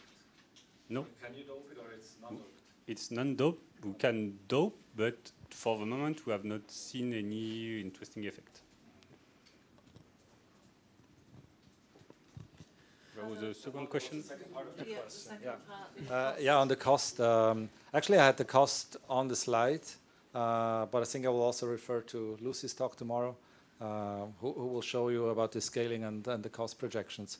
But uh, it's basically eighty dollars um, per kilogram we had, right? So on the slide, yeah, exactly. So that's uh, the cost. And I mean, I mentioned it also yesterday at a conference. We had, I mean, independent of Solidify, we had once discussions with Samsung and said you have to get the electrolytes below $100 per kilogram. And then it starts to become interesting for us because, you know, a commercial electrolyte is, Laura, correct me if I'm wrong, maybe $8 or so or $10 per liter. And so that factor, the remaining factor of 10, they, they think by scaling it really to large volumes that they can get it out. So I think we are in a range where it's, uh, you know, cost-wise uh, competitive. Yeah. Uh, I have another question related to the uh, silicon nanoparticles and uh, the nanomaker silicon particles, more specifically the carbon-coated ones. Were these specific particles evaluated? And perhaps the question is twofold. On the one hand, um, is the carbon conformally coating the silicon? And does the carbon coating prevent the expansion of the silicon? Or are you also limited uh, in the terms of uh, capacity utilization of the silicon anode because of the carbon coating? Um, no, so the, the silicon uh, is, uh, is uh, well dispersed around the particles, so it's homogeneous, and then it doesn't prevent the swelling because it's too thin, and uh, so uh, so it's um, so during the swelling uh, the surface changes, and then the the carbon coating is is, is a bit complex. But so our credo, our motto is to to have a full use of the silicon. Otherwise, you you have a like a, um, a, a, reserve of silicon which is not used and we, which will introduce uh, um, in, in a full cell, uh, we, we, which will consume lithium again and again, and then you will lose capacity. Thank you.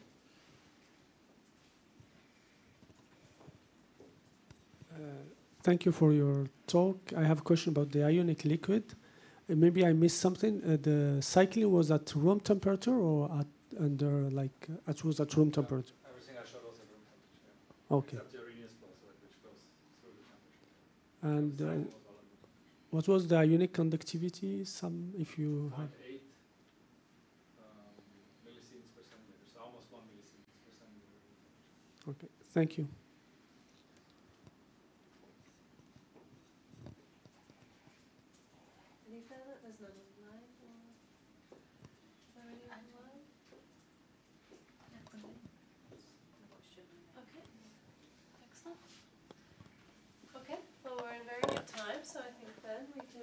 The, the final theme of this topical session. Uh, okay, so uh, now we have two talks, I think myself included. Um, so, but to begin with, so this is the solid state battery manufacturing theme. Uh, sorry, before we begin though, can we please thank our speakers from the composite electrodes? Okay, so then first up we have uh, Andre Kvasha uh, from CIDETEC, and this is representing the SAFELiMOVE project. I'll just make sure. Uh, this one. Yeah, usually just these keys here, yeah. Yep, you should be able to use a laser pointer there. Okay, and then, yeah, you're good to go. The floor okay. is yours. Thank uh, you. Thank you. Good afternoon, everybody. First of all, uh, thank you for giving opportunity to explain what we are doing in SAFELiMOVE and in particular in CIDETEC. Also, I'm very excited to participate in this event because it's really, you, can visualize uh, how big uh, solid state, uh, European solid state battery community, this looks like some separated projects.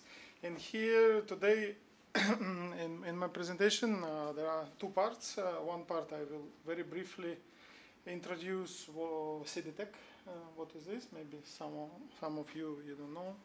Just on, uh, and then uh, of course we will go to SAFELiMOVE experience. Uh, uh, it will be like rather than concrete results. It's more like reflections about what we got and overall project. So.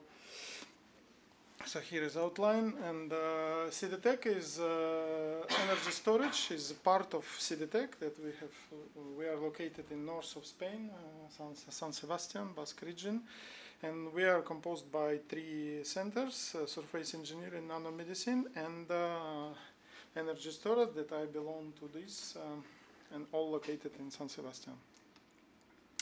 So we we are working in in energy storage with different type of let's say projects. We work with industry, we work in Europe, we work with national programs, uh, startups, uh, and different type of profiles. And also we have our own, uh, let's say, generation of knowledge, and we work on new technologies, especially in new chemistries, like solid state, lithium sulfur, etc.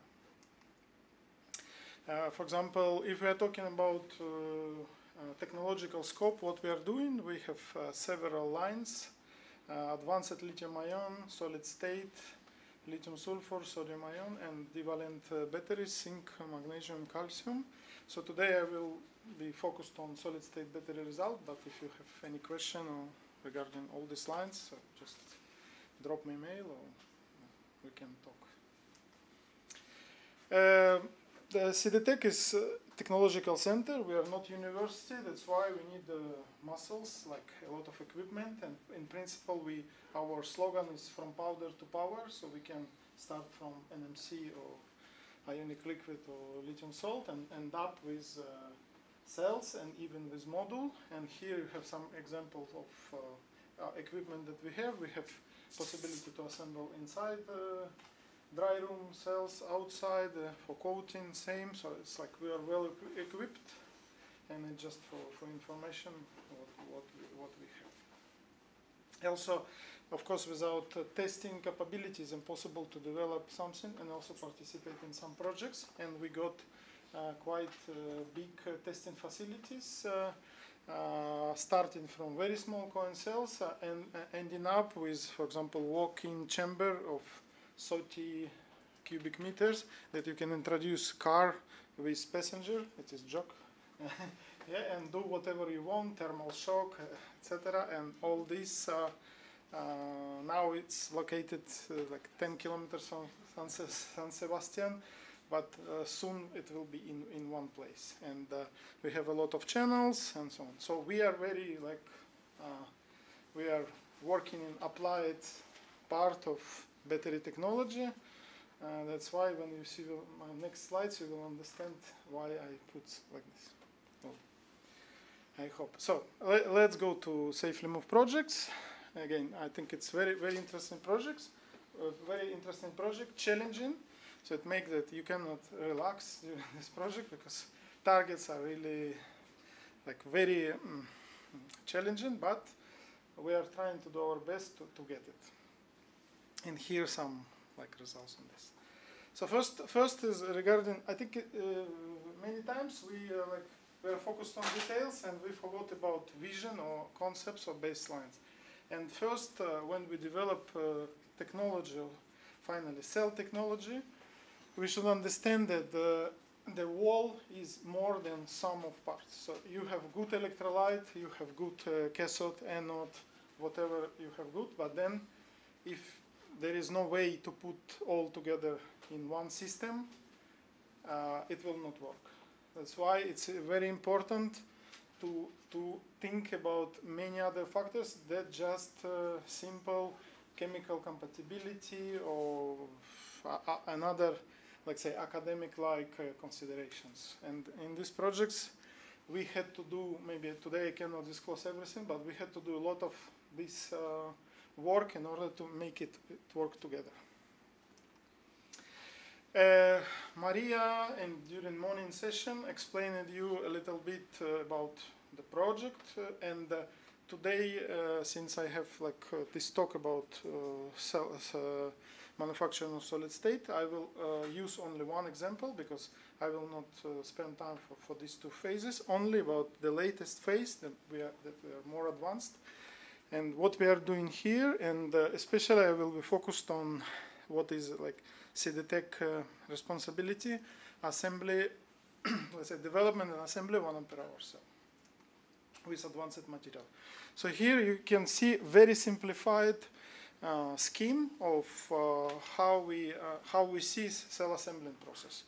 Uh, simplified because we removed all conditions. We remove all uh, points that, let's say, for example, at each step we have quality check, uh, control, etc. Because otherwise it will be like super busy and possible to see. And uh, in this um, mm, uh, chart, we have several blocks. One is cathode uh, electrode uh, preparation, anode, lithium metal, solid electrolyte. In this project we call this HSCP. And uh, of course, uh, final cell assembly. The, the appearance of the cell of our target cell is this one, uh, stack size 5 by 6 and it's very simple power cell design. Here we don't focus, we don't develop really battery battery, we develop, let's say, uh, proof of concept cell that later some engineers in next projects can take and make from this real product. Yeah? Uh, and uh, it's very important because this uh, format is very flexible. So if we start to discuss, uh, let's say, uh, cell manufacturing process, cathode preparation. To, today Maria mentioned that preparation or manufacturing of cathode with high loading for solid state batteries, what does it mean? You need catholyte, uh, zero porosity, and uh, um, this catholyte should have like certain conductivity. So finally you should play with, with, with a lot of things and uh, thinking about scalability because our concept was from the beginning not to use uh, something very uh, exotic. So use what we have at CIDETEC and adapt it to solid state battery technology. So then that's why we, we bet on, we selected on slurry based uh, process, but it is not slurry that everything will be evaporated. Here you need to evaporate part of components and uh, only solvent uh, will leave the slurry and the other liquids, uh, plasticizer, etc. here. So basically we prepare here uh, slurry, we uh, at different scale, then we use slurry, slurry casting method uh, using roll-to-roll um, uh, base coaters. Uh, then when we have this roll, we have calendering process, and then after this, uh, we have this roll of calendered electrode that uh, still has certain like porous. Ah. Yeah, yeah, I can, I can use this. Uh, uh, you, you, uh, then uh, we need one uh, post-processing step. Uh, in our case, hot pressing, and then after that, and after drying, we can use these electrodes with porosity. it's below 10%, but still, mm, I mean, we, we need to improve. But without hot pressing step, it's impossible to get high performance electrode. Next step is solid electrolyte preparation. Here we use, uh, with help of uh, short and uh, mainly CIC energy Energiegune, we use uh, double layer coated electrode. So one side we coat with uh, polymer, let's say, of separator, uh, because we learned from previous uh, if you want conductivity you, uh, you, lose mechanical properties and I think the solution that we um, proposed by CIC here use uh, polymer uh, microporous separator uh, from, I mean, very standard in, in this case.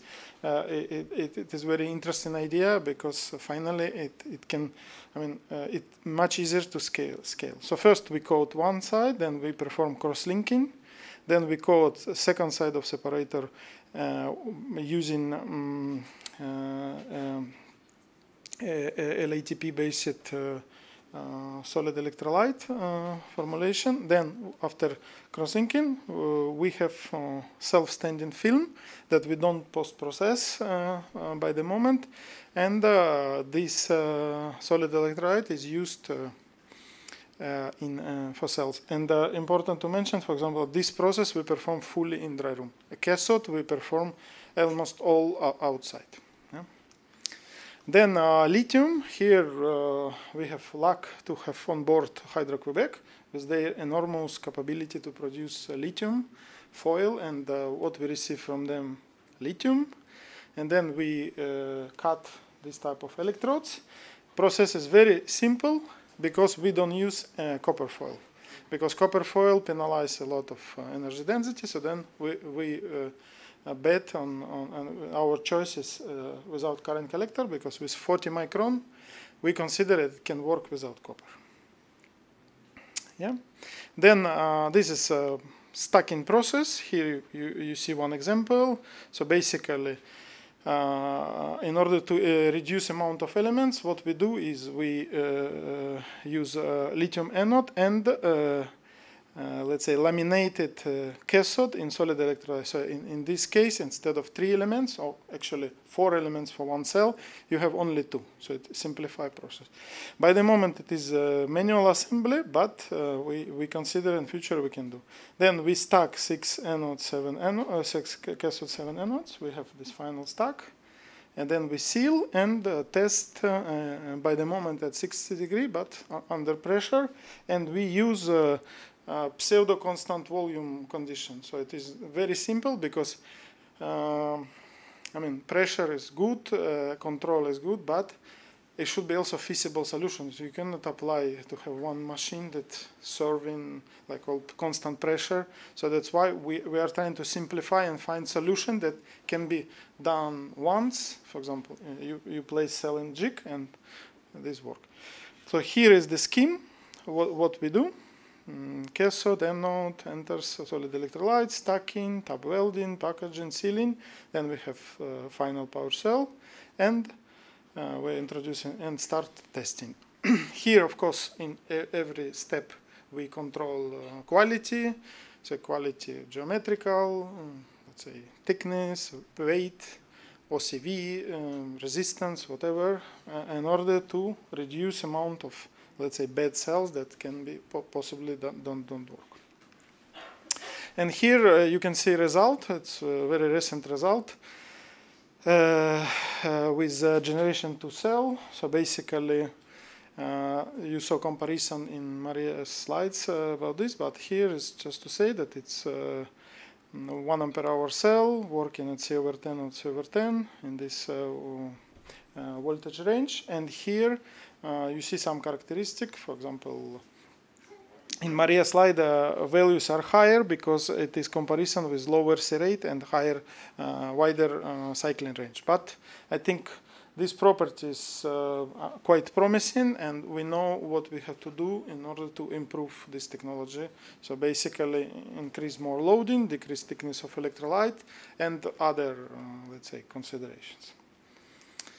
Yeah, and uh, yeah, uh, if we go to conclusions, um, first, uh, uh, solid-state batteries are, are, is promising class of batteries, and potentially can bring high energy density, uh, safety should be proved, and durability.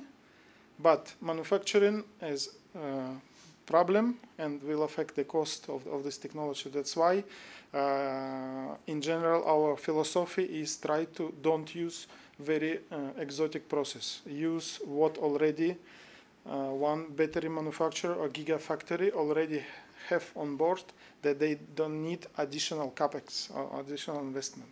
Yeah. Second is uh, regarding the project. So we consider that first uh, one ampere hour class solid state pouch cells have been successfully developed by whole consortium, manufactured and uh, I think it's one great achievement of SAFELiMOVE projects.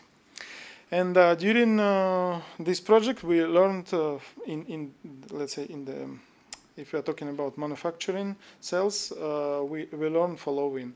For uh, lithium metal anode, less manipulations you do with lithium metal, less time it is in, in, in the work between storage and cell, better, otherwise it will uh, even we, we are working in dry room, it uh, can uh, lose properties very fast, especially if you touch it, because there is no there is no self-healing, unfortunately, in lithium metal. It is not liquid.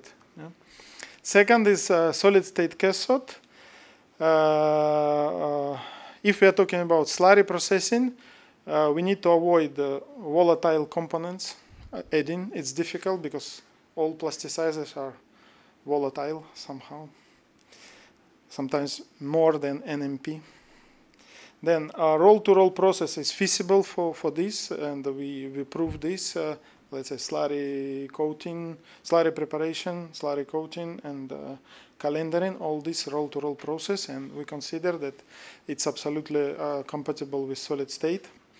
Then uh, post-processing is required uh, for these electrodes, otherwise uh, residual porosity will re significantly decrease uh, porosity because we consider that additional process of impregnation of, of cell, it, it changed drastically technology because you need to introduce one device.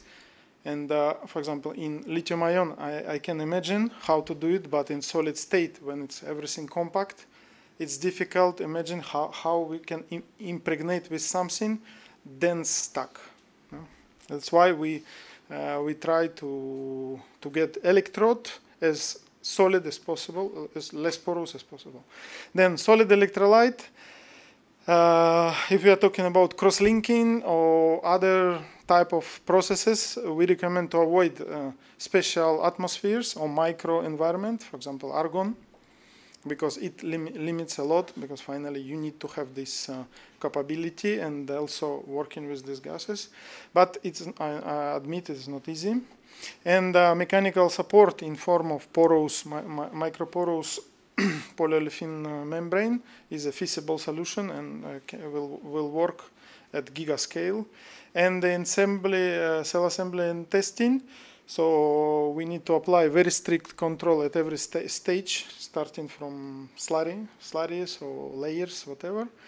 And then uh, we can use stacking for this technology. It's, it's quite easy, scalable. And finally, uh, pressure for testing, maybe not such high like for uh, sulfide-based electrolytes, but some pressure we need because we have lithium metal and it is one uh, electrode that is hostless. So finally, you need to contain uh, this electrode and make it uh, dense. Yeah, this is uh, briefly conclusions, and uh, I would like to acknowledge European Commission for funding and SAFELiMOVE, all consortium of SAFELiMOVE, all partners even they are not involved in concrete work packages, and uh, some people involved in CIDETEC in, in, in, this because it's really teamwork, uh, pilot plant, uh, solid state battery team, testing team, etc.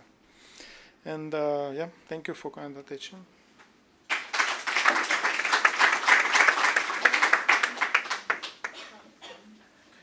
Thank you very much, Andre. Yes, so well, we will have another question session uh, after myself. So uh, I will be presenting uh, next, on behalf of Solidify colleagues, so give me one moment.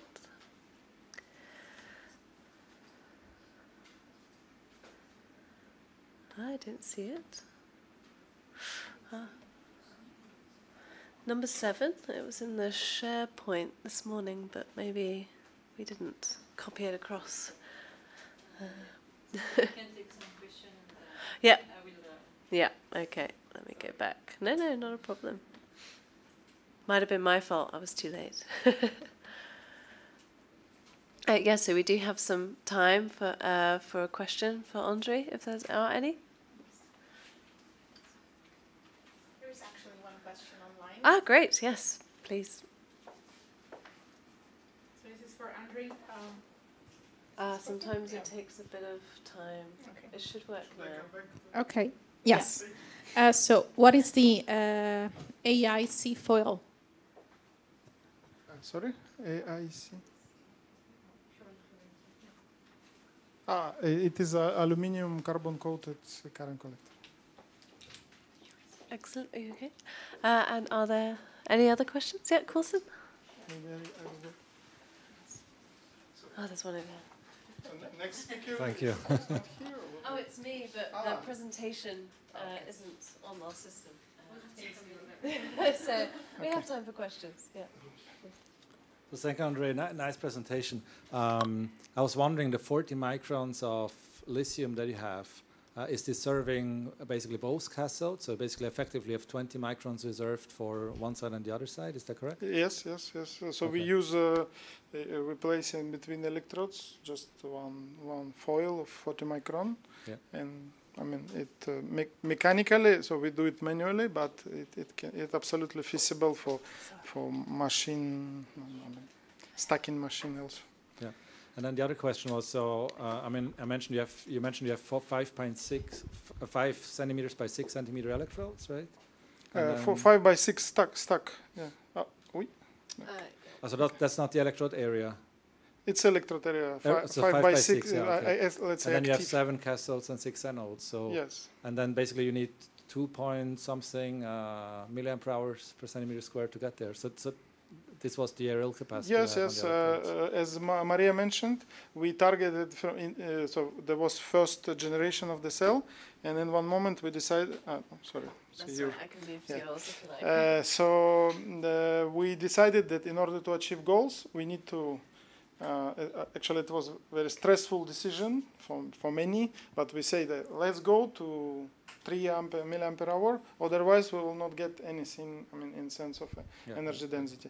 So we went to this, it was challenging, and this electrode has, uh, let's say, loading uh, 3, around 3 milliampere hour per square centimeter. Mm-hmm. Uh, works from both sides, so finally we have lithium, cathode, Yeah. and end up with lithium. Okay. Uh, and Ah, so lithium you have actually some more capacity inside. You have actually more than one ampere hour. Then Uh, ultimately, uh, I mean, he, he, of theoretically we have like around one ampere hour, Yeah. yeah. But But the problem is that uh, how you cycle it. So what you see here in in my presentation, it was um range three, four point two. Mhm. So we didn't. So it, for, for because it, for us it was like witness cell. We, we call this. Uh, Okay. We assemble, but then there are other partners that in charge of t- testing. And today Maria showed some results on this, and later will be more.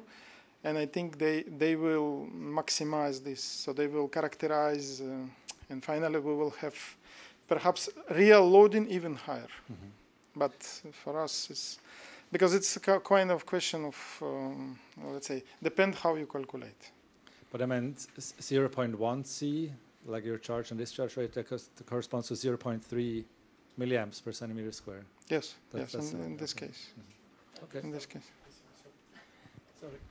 Uh, I'm just wondering if it's possible. Do you think if it's possible to decrease the the lithium uh, metal thickness less than uh, 40 micron?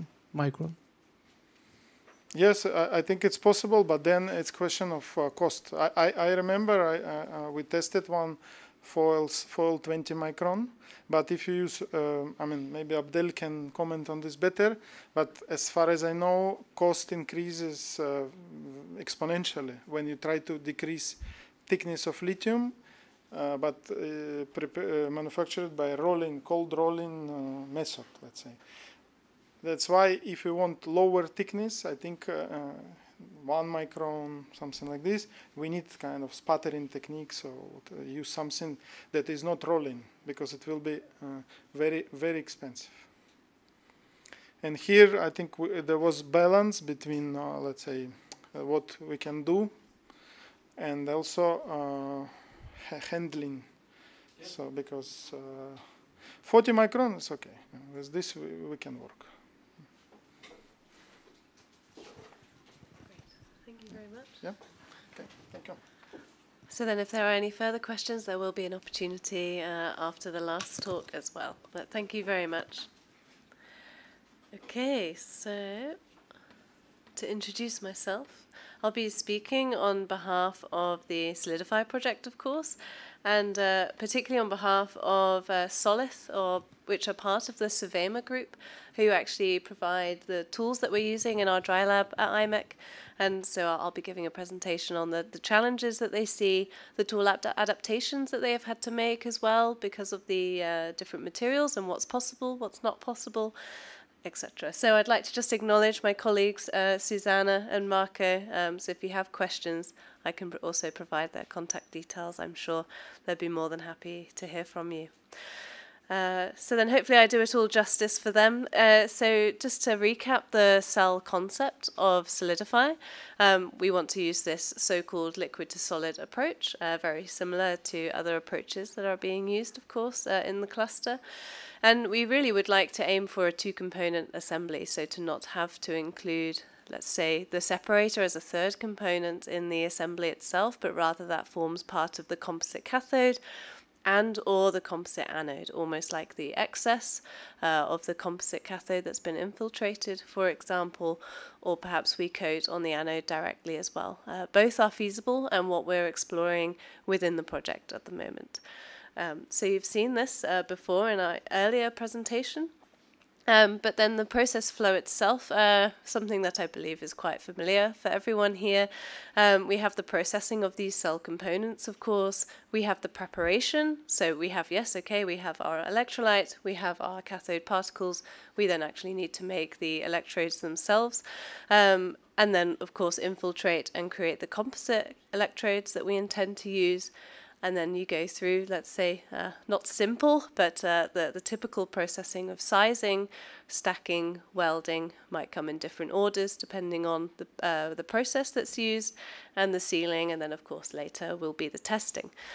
Uh, so then uh, I have a small picture here. I don't know why that, yeah, the cathode is there as well. So we have our treated anode and our composite cathode. There's just some pictures of what they look like at the moment, um, but these are still, of course, in development. Uh, but today I'll focus on the aspects of the, the tools that are needed for these components and their handling. Um, and this, of course, is very much led by Solith. Um, and of course, Leclanché is very much a part of this uh, manufacturability assessment of the Solidify cell as well. Um, okay. And really, the idea is to take these materials from handling in the lab to uh, an industrial scale. That's the, the goal, of course. Um, not to say that we're going to produce industrial scale components right at the end of Solidify. That is, of course, a goal, but maybe not 2024 later on, I'm sure. So the uh, so Sovema Group, so they are um, more or less an umbrella of the uh, an umbrella company which has then Solith, which is the particular equipment that we use at IMEC. And uh, mostly they're focusing on the handling of lithium metal, as we all know, can be quite difficult, especially when you're using very thin components. So we're looking at um, lithium metal uh, below 30 micrometers. It's quite fragile, let's say, sticky. I think we're all quite familiar. And then there's aspects of cutting and stacking uh, that need to be taken into account in this equipment. The challenges, of course, as we're all quite familiar with, uh, the sensitivity to humidity, um, but there's also low resistance to traction that we have to account for, and uh, the soft material. So that really refers to, well, I suppose both the, the anode, but the composite cathode, the overfill, the pill-based electrolyte that's on the surface. It's somewhat um, soft, sticky, it's flexible, it's pliable, um, but then of course you, you um, have to adapt tools to ensure that you don't break the surface, etc. And then uh, that's really all already reflected in the last point there on the cathode and the pill. So these are ongoing tests, so it's not uh, completely available technology yet. It's very much um, geared to the Solidify challenges. Uh, but this equipment we already have in the lab. So there are some really lovely pictures uh, of the equipment uh, that Solith have provided that we've been using even before uh, the Solidify project. And one would be the rule die, which is used to effectively size your sheet. So you have your sheet, you can slide it into this tool and uh, almost like cookie cutters. Maybe that I shouldn't say that, but yeah, that's how I think about it. They really are, um, at least the ones we have in our lab, um, to size these with the right uh, amount of tab, so that later we can do the tab welding as well. And uh, this is all, all these tools are tested on the Solidify materials as well. So this is commercially available equipment and then also it's possible to adjust these steel rule dies to the, to the sizes that you want, of course, uh, and also later I'll show with the materials themselves. And one point I should really point out is the excessive um, pressure on the electrode surface. So it's something that we have to be careful of with the cutting, um, and that's something that's already taken into account with the with these with this equipment, um, so that we don't deform or cause any damage to the surface. And then we have the, the stacking. So we've gone from our sizing of our electrodes to the stacking of the these pieces, uh, these electrodes themselves. So typically the Z-fold stacking uh, equipment that you can see uh, pictured here is using uh, the stacking of electrodes and the standard separator. In the Solidify project, we actually want to move to this uh, single stacking. It doesn't mean we're just using one material, but we're effectively not including the stacking of a separator. That's already incorporated into the composite electrodes themselves. So this is something uh, that Solith can, of course, do. And, um, and they have created specific trays for each of the components, the anode and the cathode, and they actually have um, a vacuum pad to pick up these pieces, uh, so it's somewhat gentle, let's say. Um, and then we also have, we were able to really specifically stack them. I haven't been able to, unfortunately, use the equipment yet. It's something that's in development um, for this, but we already have the main frame, and this can then be adapted to the single stacking system. And so we've gone from our electrode cutting to uh, the stacking, of course, that um, we've also seen uh, already, and then the tab welding and trimming. Uh, there's another machine that we have, let's say, in our pilot line at IMEC as well. And this is then just adapted quite simply to the size of the cell that we intend to use. Uh, we have two sizes in the Solidify project. There's the smaller size, five, roughly five by four centimeter squared. Um, and then of course you can change the capacity with the number of stacks you have, of course. And then we have our much larger um, size, getting more towards A4, not quite, um, 10 by 15. Uh, so then we can have these adaptations to these tools so that we can actually have the sizes that we intend, of course, and this has all been decided, of course, like other projects with end users um, within the consortium as well. And then the sealing machine. These are quite hefty pieces of equipment, I have to say. Um, we need quite a, a, lot of space, and they really are quite um, reproducible as well.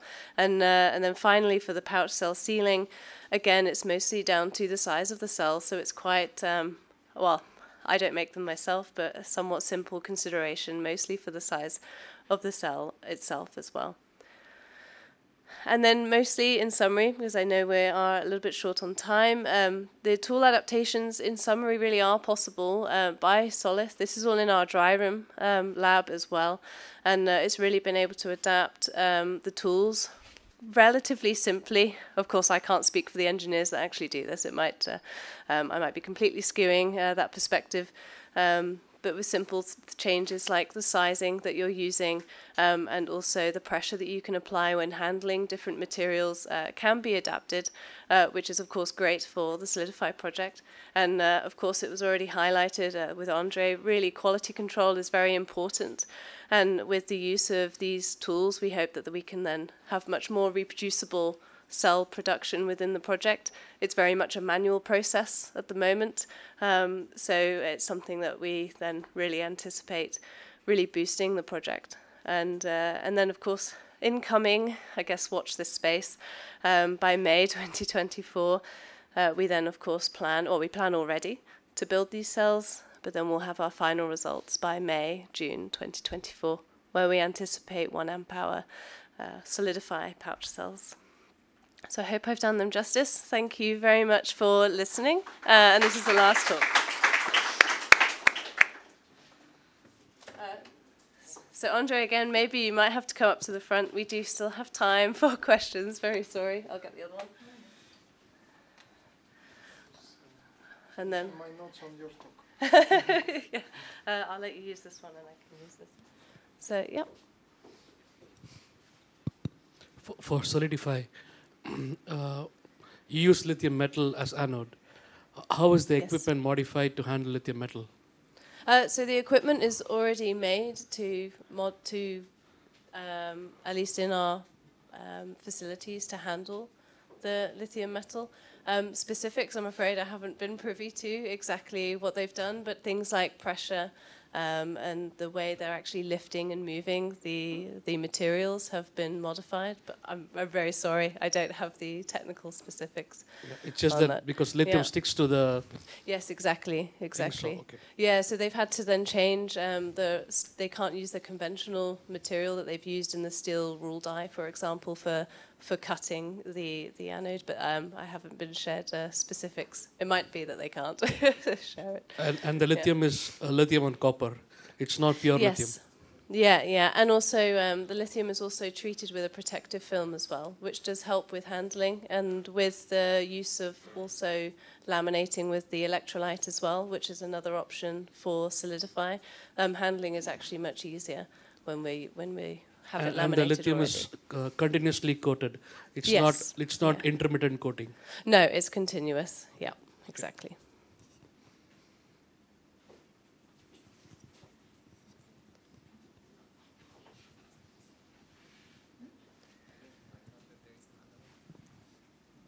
Uh, sorry. Uh, thank you. Thank you very much for the nice presentation. I just have a general question regarding the lithium anode from both of uh, the both of you. So it's uh, Oh, sorry, the microphone. Yeah, yeah, so I have Yeah. a general question for regarding the lithium anode because for us uh, it was really challenging to find Mm. the lithium metal that is stable versus our electrolyte. So we had to try different uh, types of uh, lithium anodes uh, from different producers uh, and to do a lot of uh, treatment on having an uh, clean surface. Uh, I just wanted to ask in your project, so how do you treat the, the surface? Is it just you buy, uh, you have selected a very pure uh, pr- uh, lithium anode from a special producer or you do the treatment yourself? So we actually work with a company based in Latvia, an SME called Sidrabe, and they uh, specialize in the physical vapor deposition of lithium on the copper foils. Um, so then they can also incorporate um, sometimes a protective film, so like lithium nitride, for example, is possible. So we get that directly from them, and then at ve- wherever the anode is being used, we can then laminate with the chosen electrolyte as well. Uh, but actually, we only use uh, this supplier, of, of lithium. Yeah, thank you.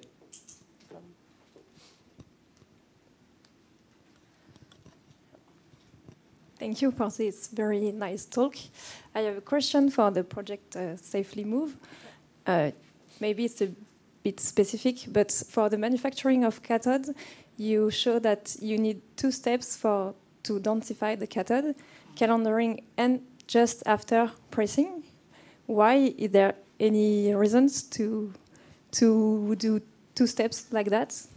No, because uh, uh, because uh, uh, we don't have uh, equipment that can hot press at very high pressure and very high temperature. So then we cannot achieve, uh, like in, in during calendering process, the density we, we want or porosity we want. That's why uh, in this concrete project we use, uh, let's say, two-step. But of course, I think um, it's question of um, let's say adapt our equipment and get maybe in, in, in one uh, shoot uh, this. But uh, we had so many, let's say, challenges uh, with uh, cathode and we decided to don't put in risk all these electrodes and just because if you uh, don't apply very high temperature but very high pressure, you can just break current collector and it will not be compacting. So it's quite difficult, yeah. And is it possible to do just the uh, pressing and not the calendering and after the pressing?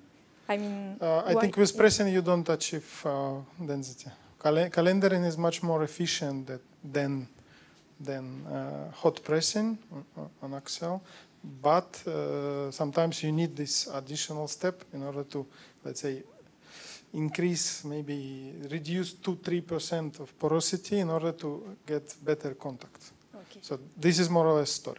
yeah. Okay. Thank you. Welcome. Hi, I also have a question for SAFELiMOVE. and Yeah, Monday. okay. Um, do you anticipate any issues with anode integrity over in cycling since you don't have a current collector and you're basically using lithium from both sides? Uh, we are inspired in this by uh, Blue Solutions, so they don't use, as far as I know, and uh, that's why I think um, I mean we have experience on this. Uh, maybe if we are talking about 20 years and I don't know 50,000 cycles, maybe yes, it uh, could be problem. But uh, simple calculations show that if you add uh, 8 micron of copper as current collector, Mm, in my opinion, you cannot win lithium ion. So you cannot overcome energy density of lithium ion. So then, in this case, why do we need lithium metal? Because it's a headache, basically, from dendrites and other point of view. So then, in this case, solution is try to uh, make, uh, uh, let's say, use uh, lithium as active material and current collector. And uh, continuing you, uh, let's say, question, I think uh, alloys could be one interesting, for example, with magnesium because magnesium is intact, and finally you have certain host, and maybe this will be next solution. But with magnesium, th there are certain problems. Uh,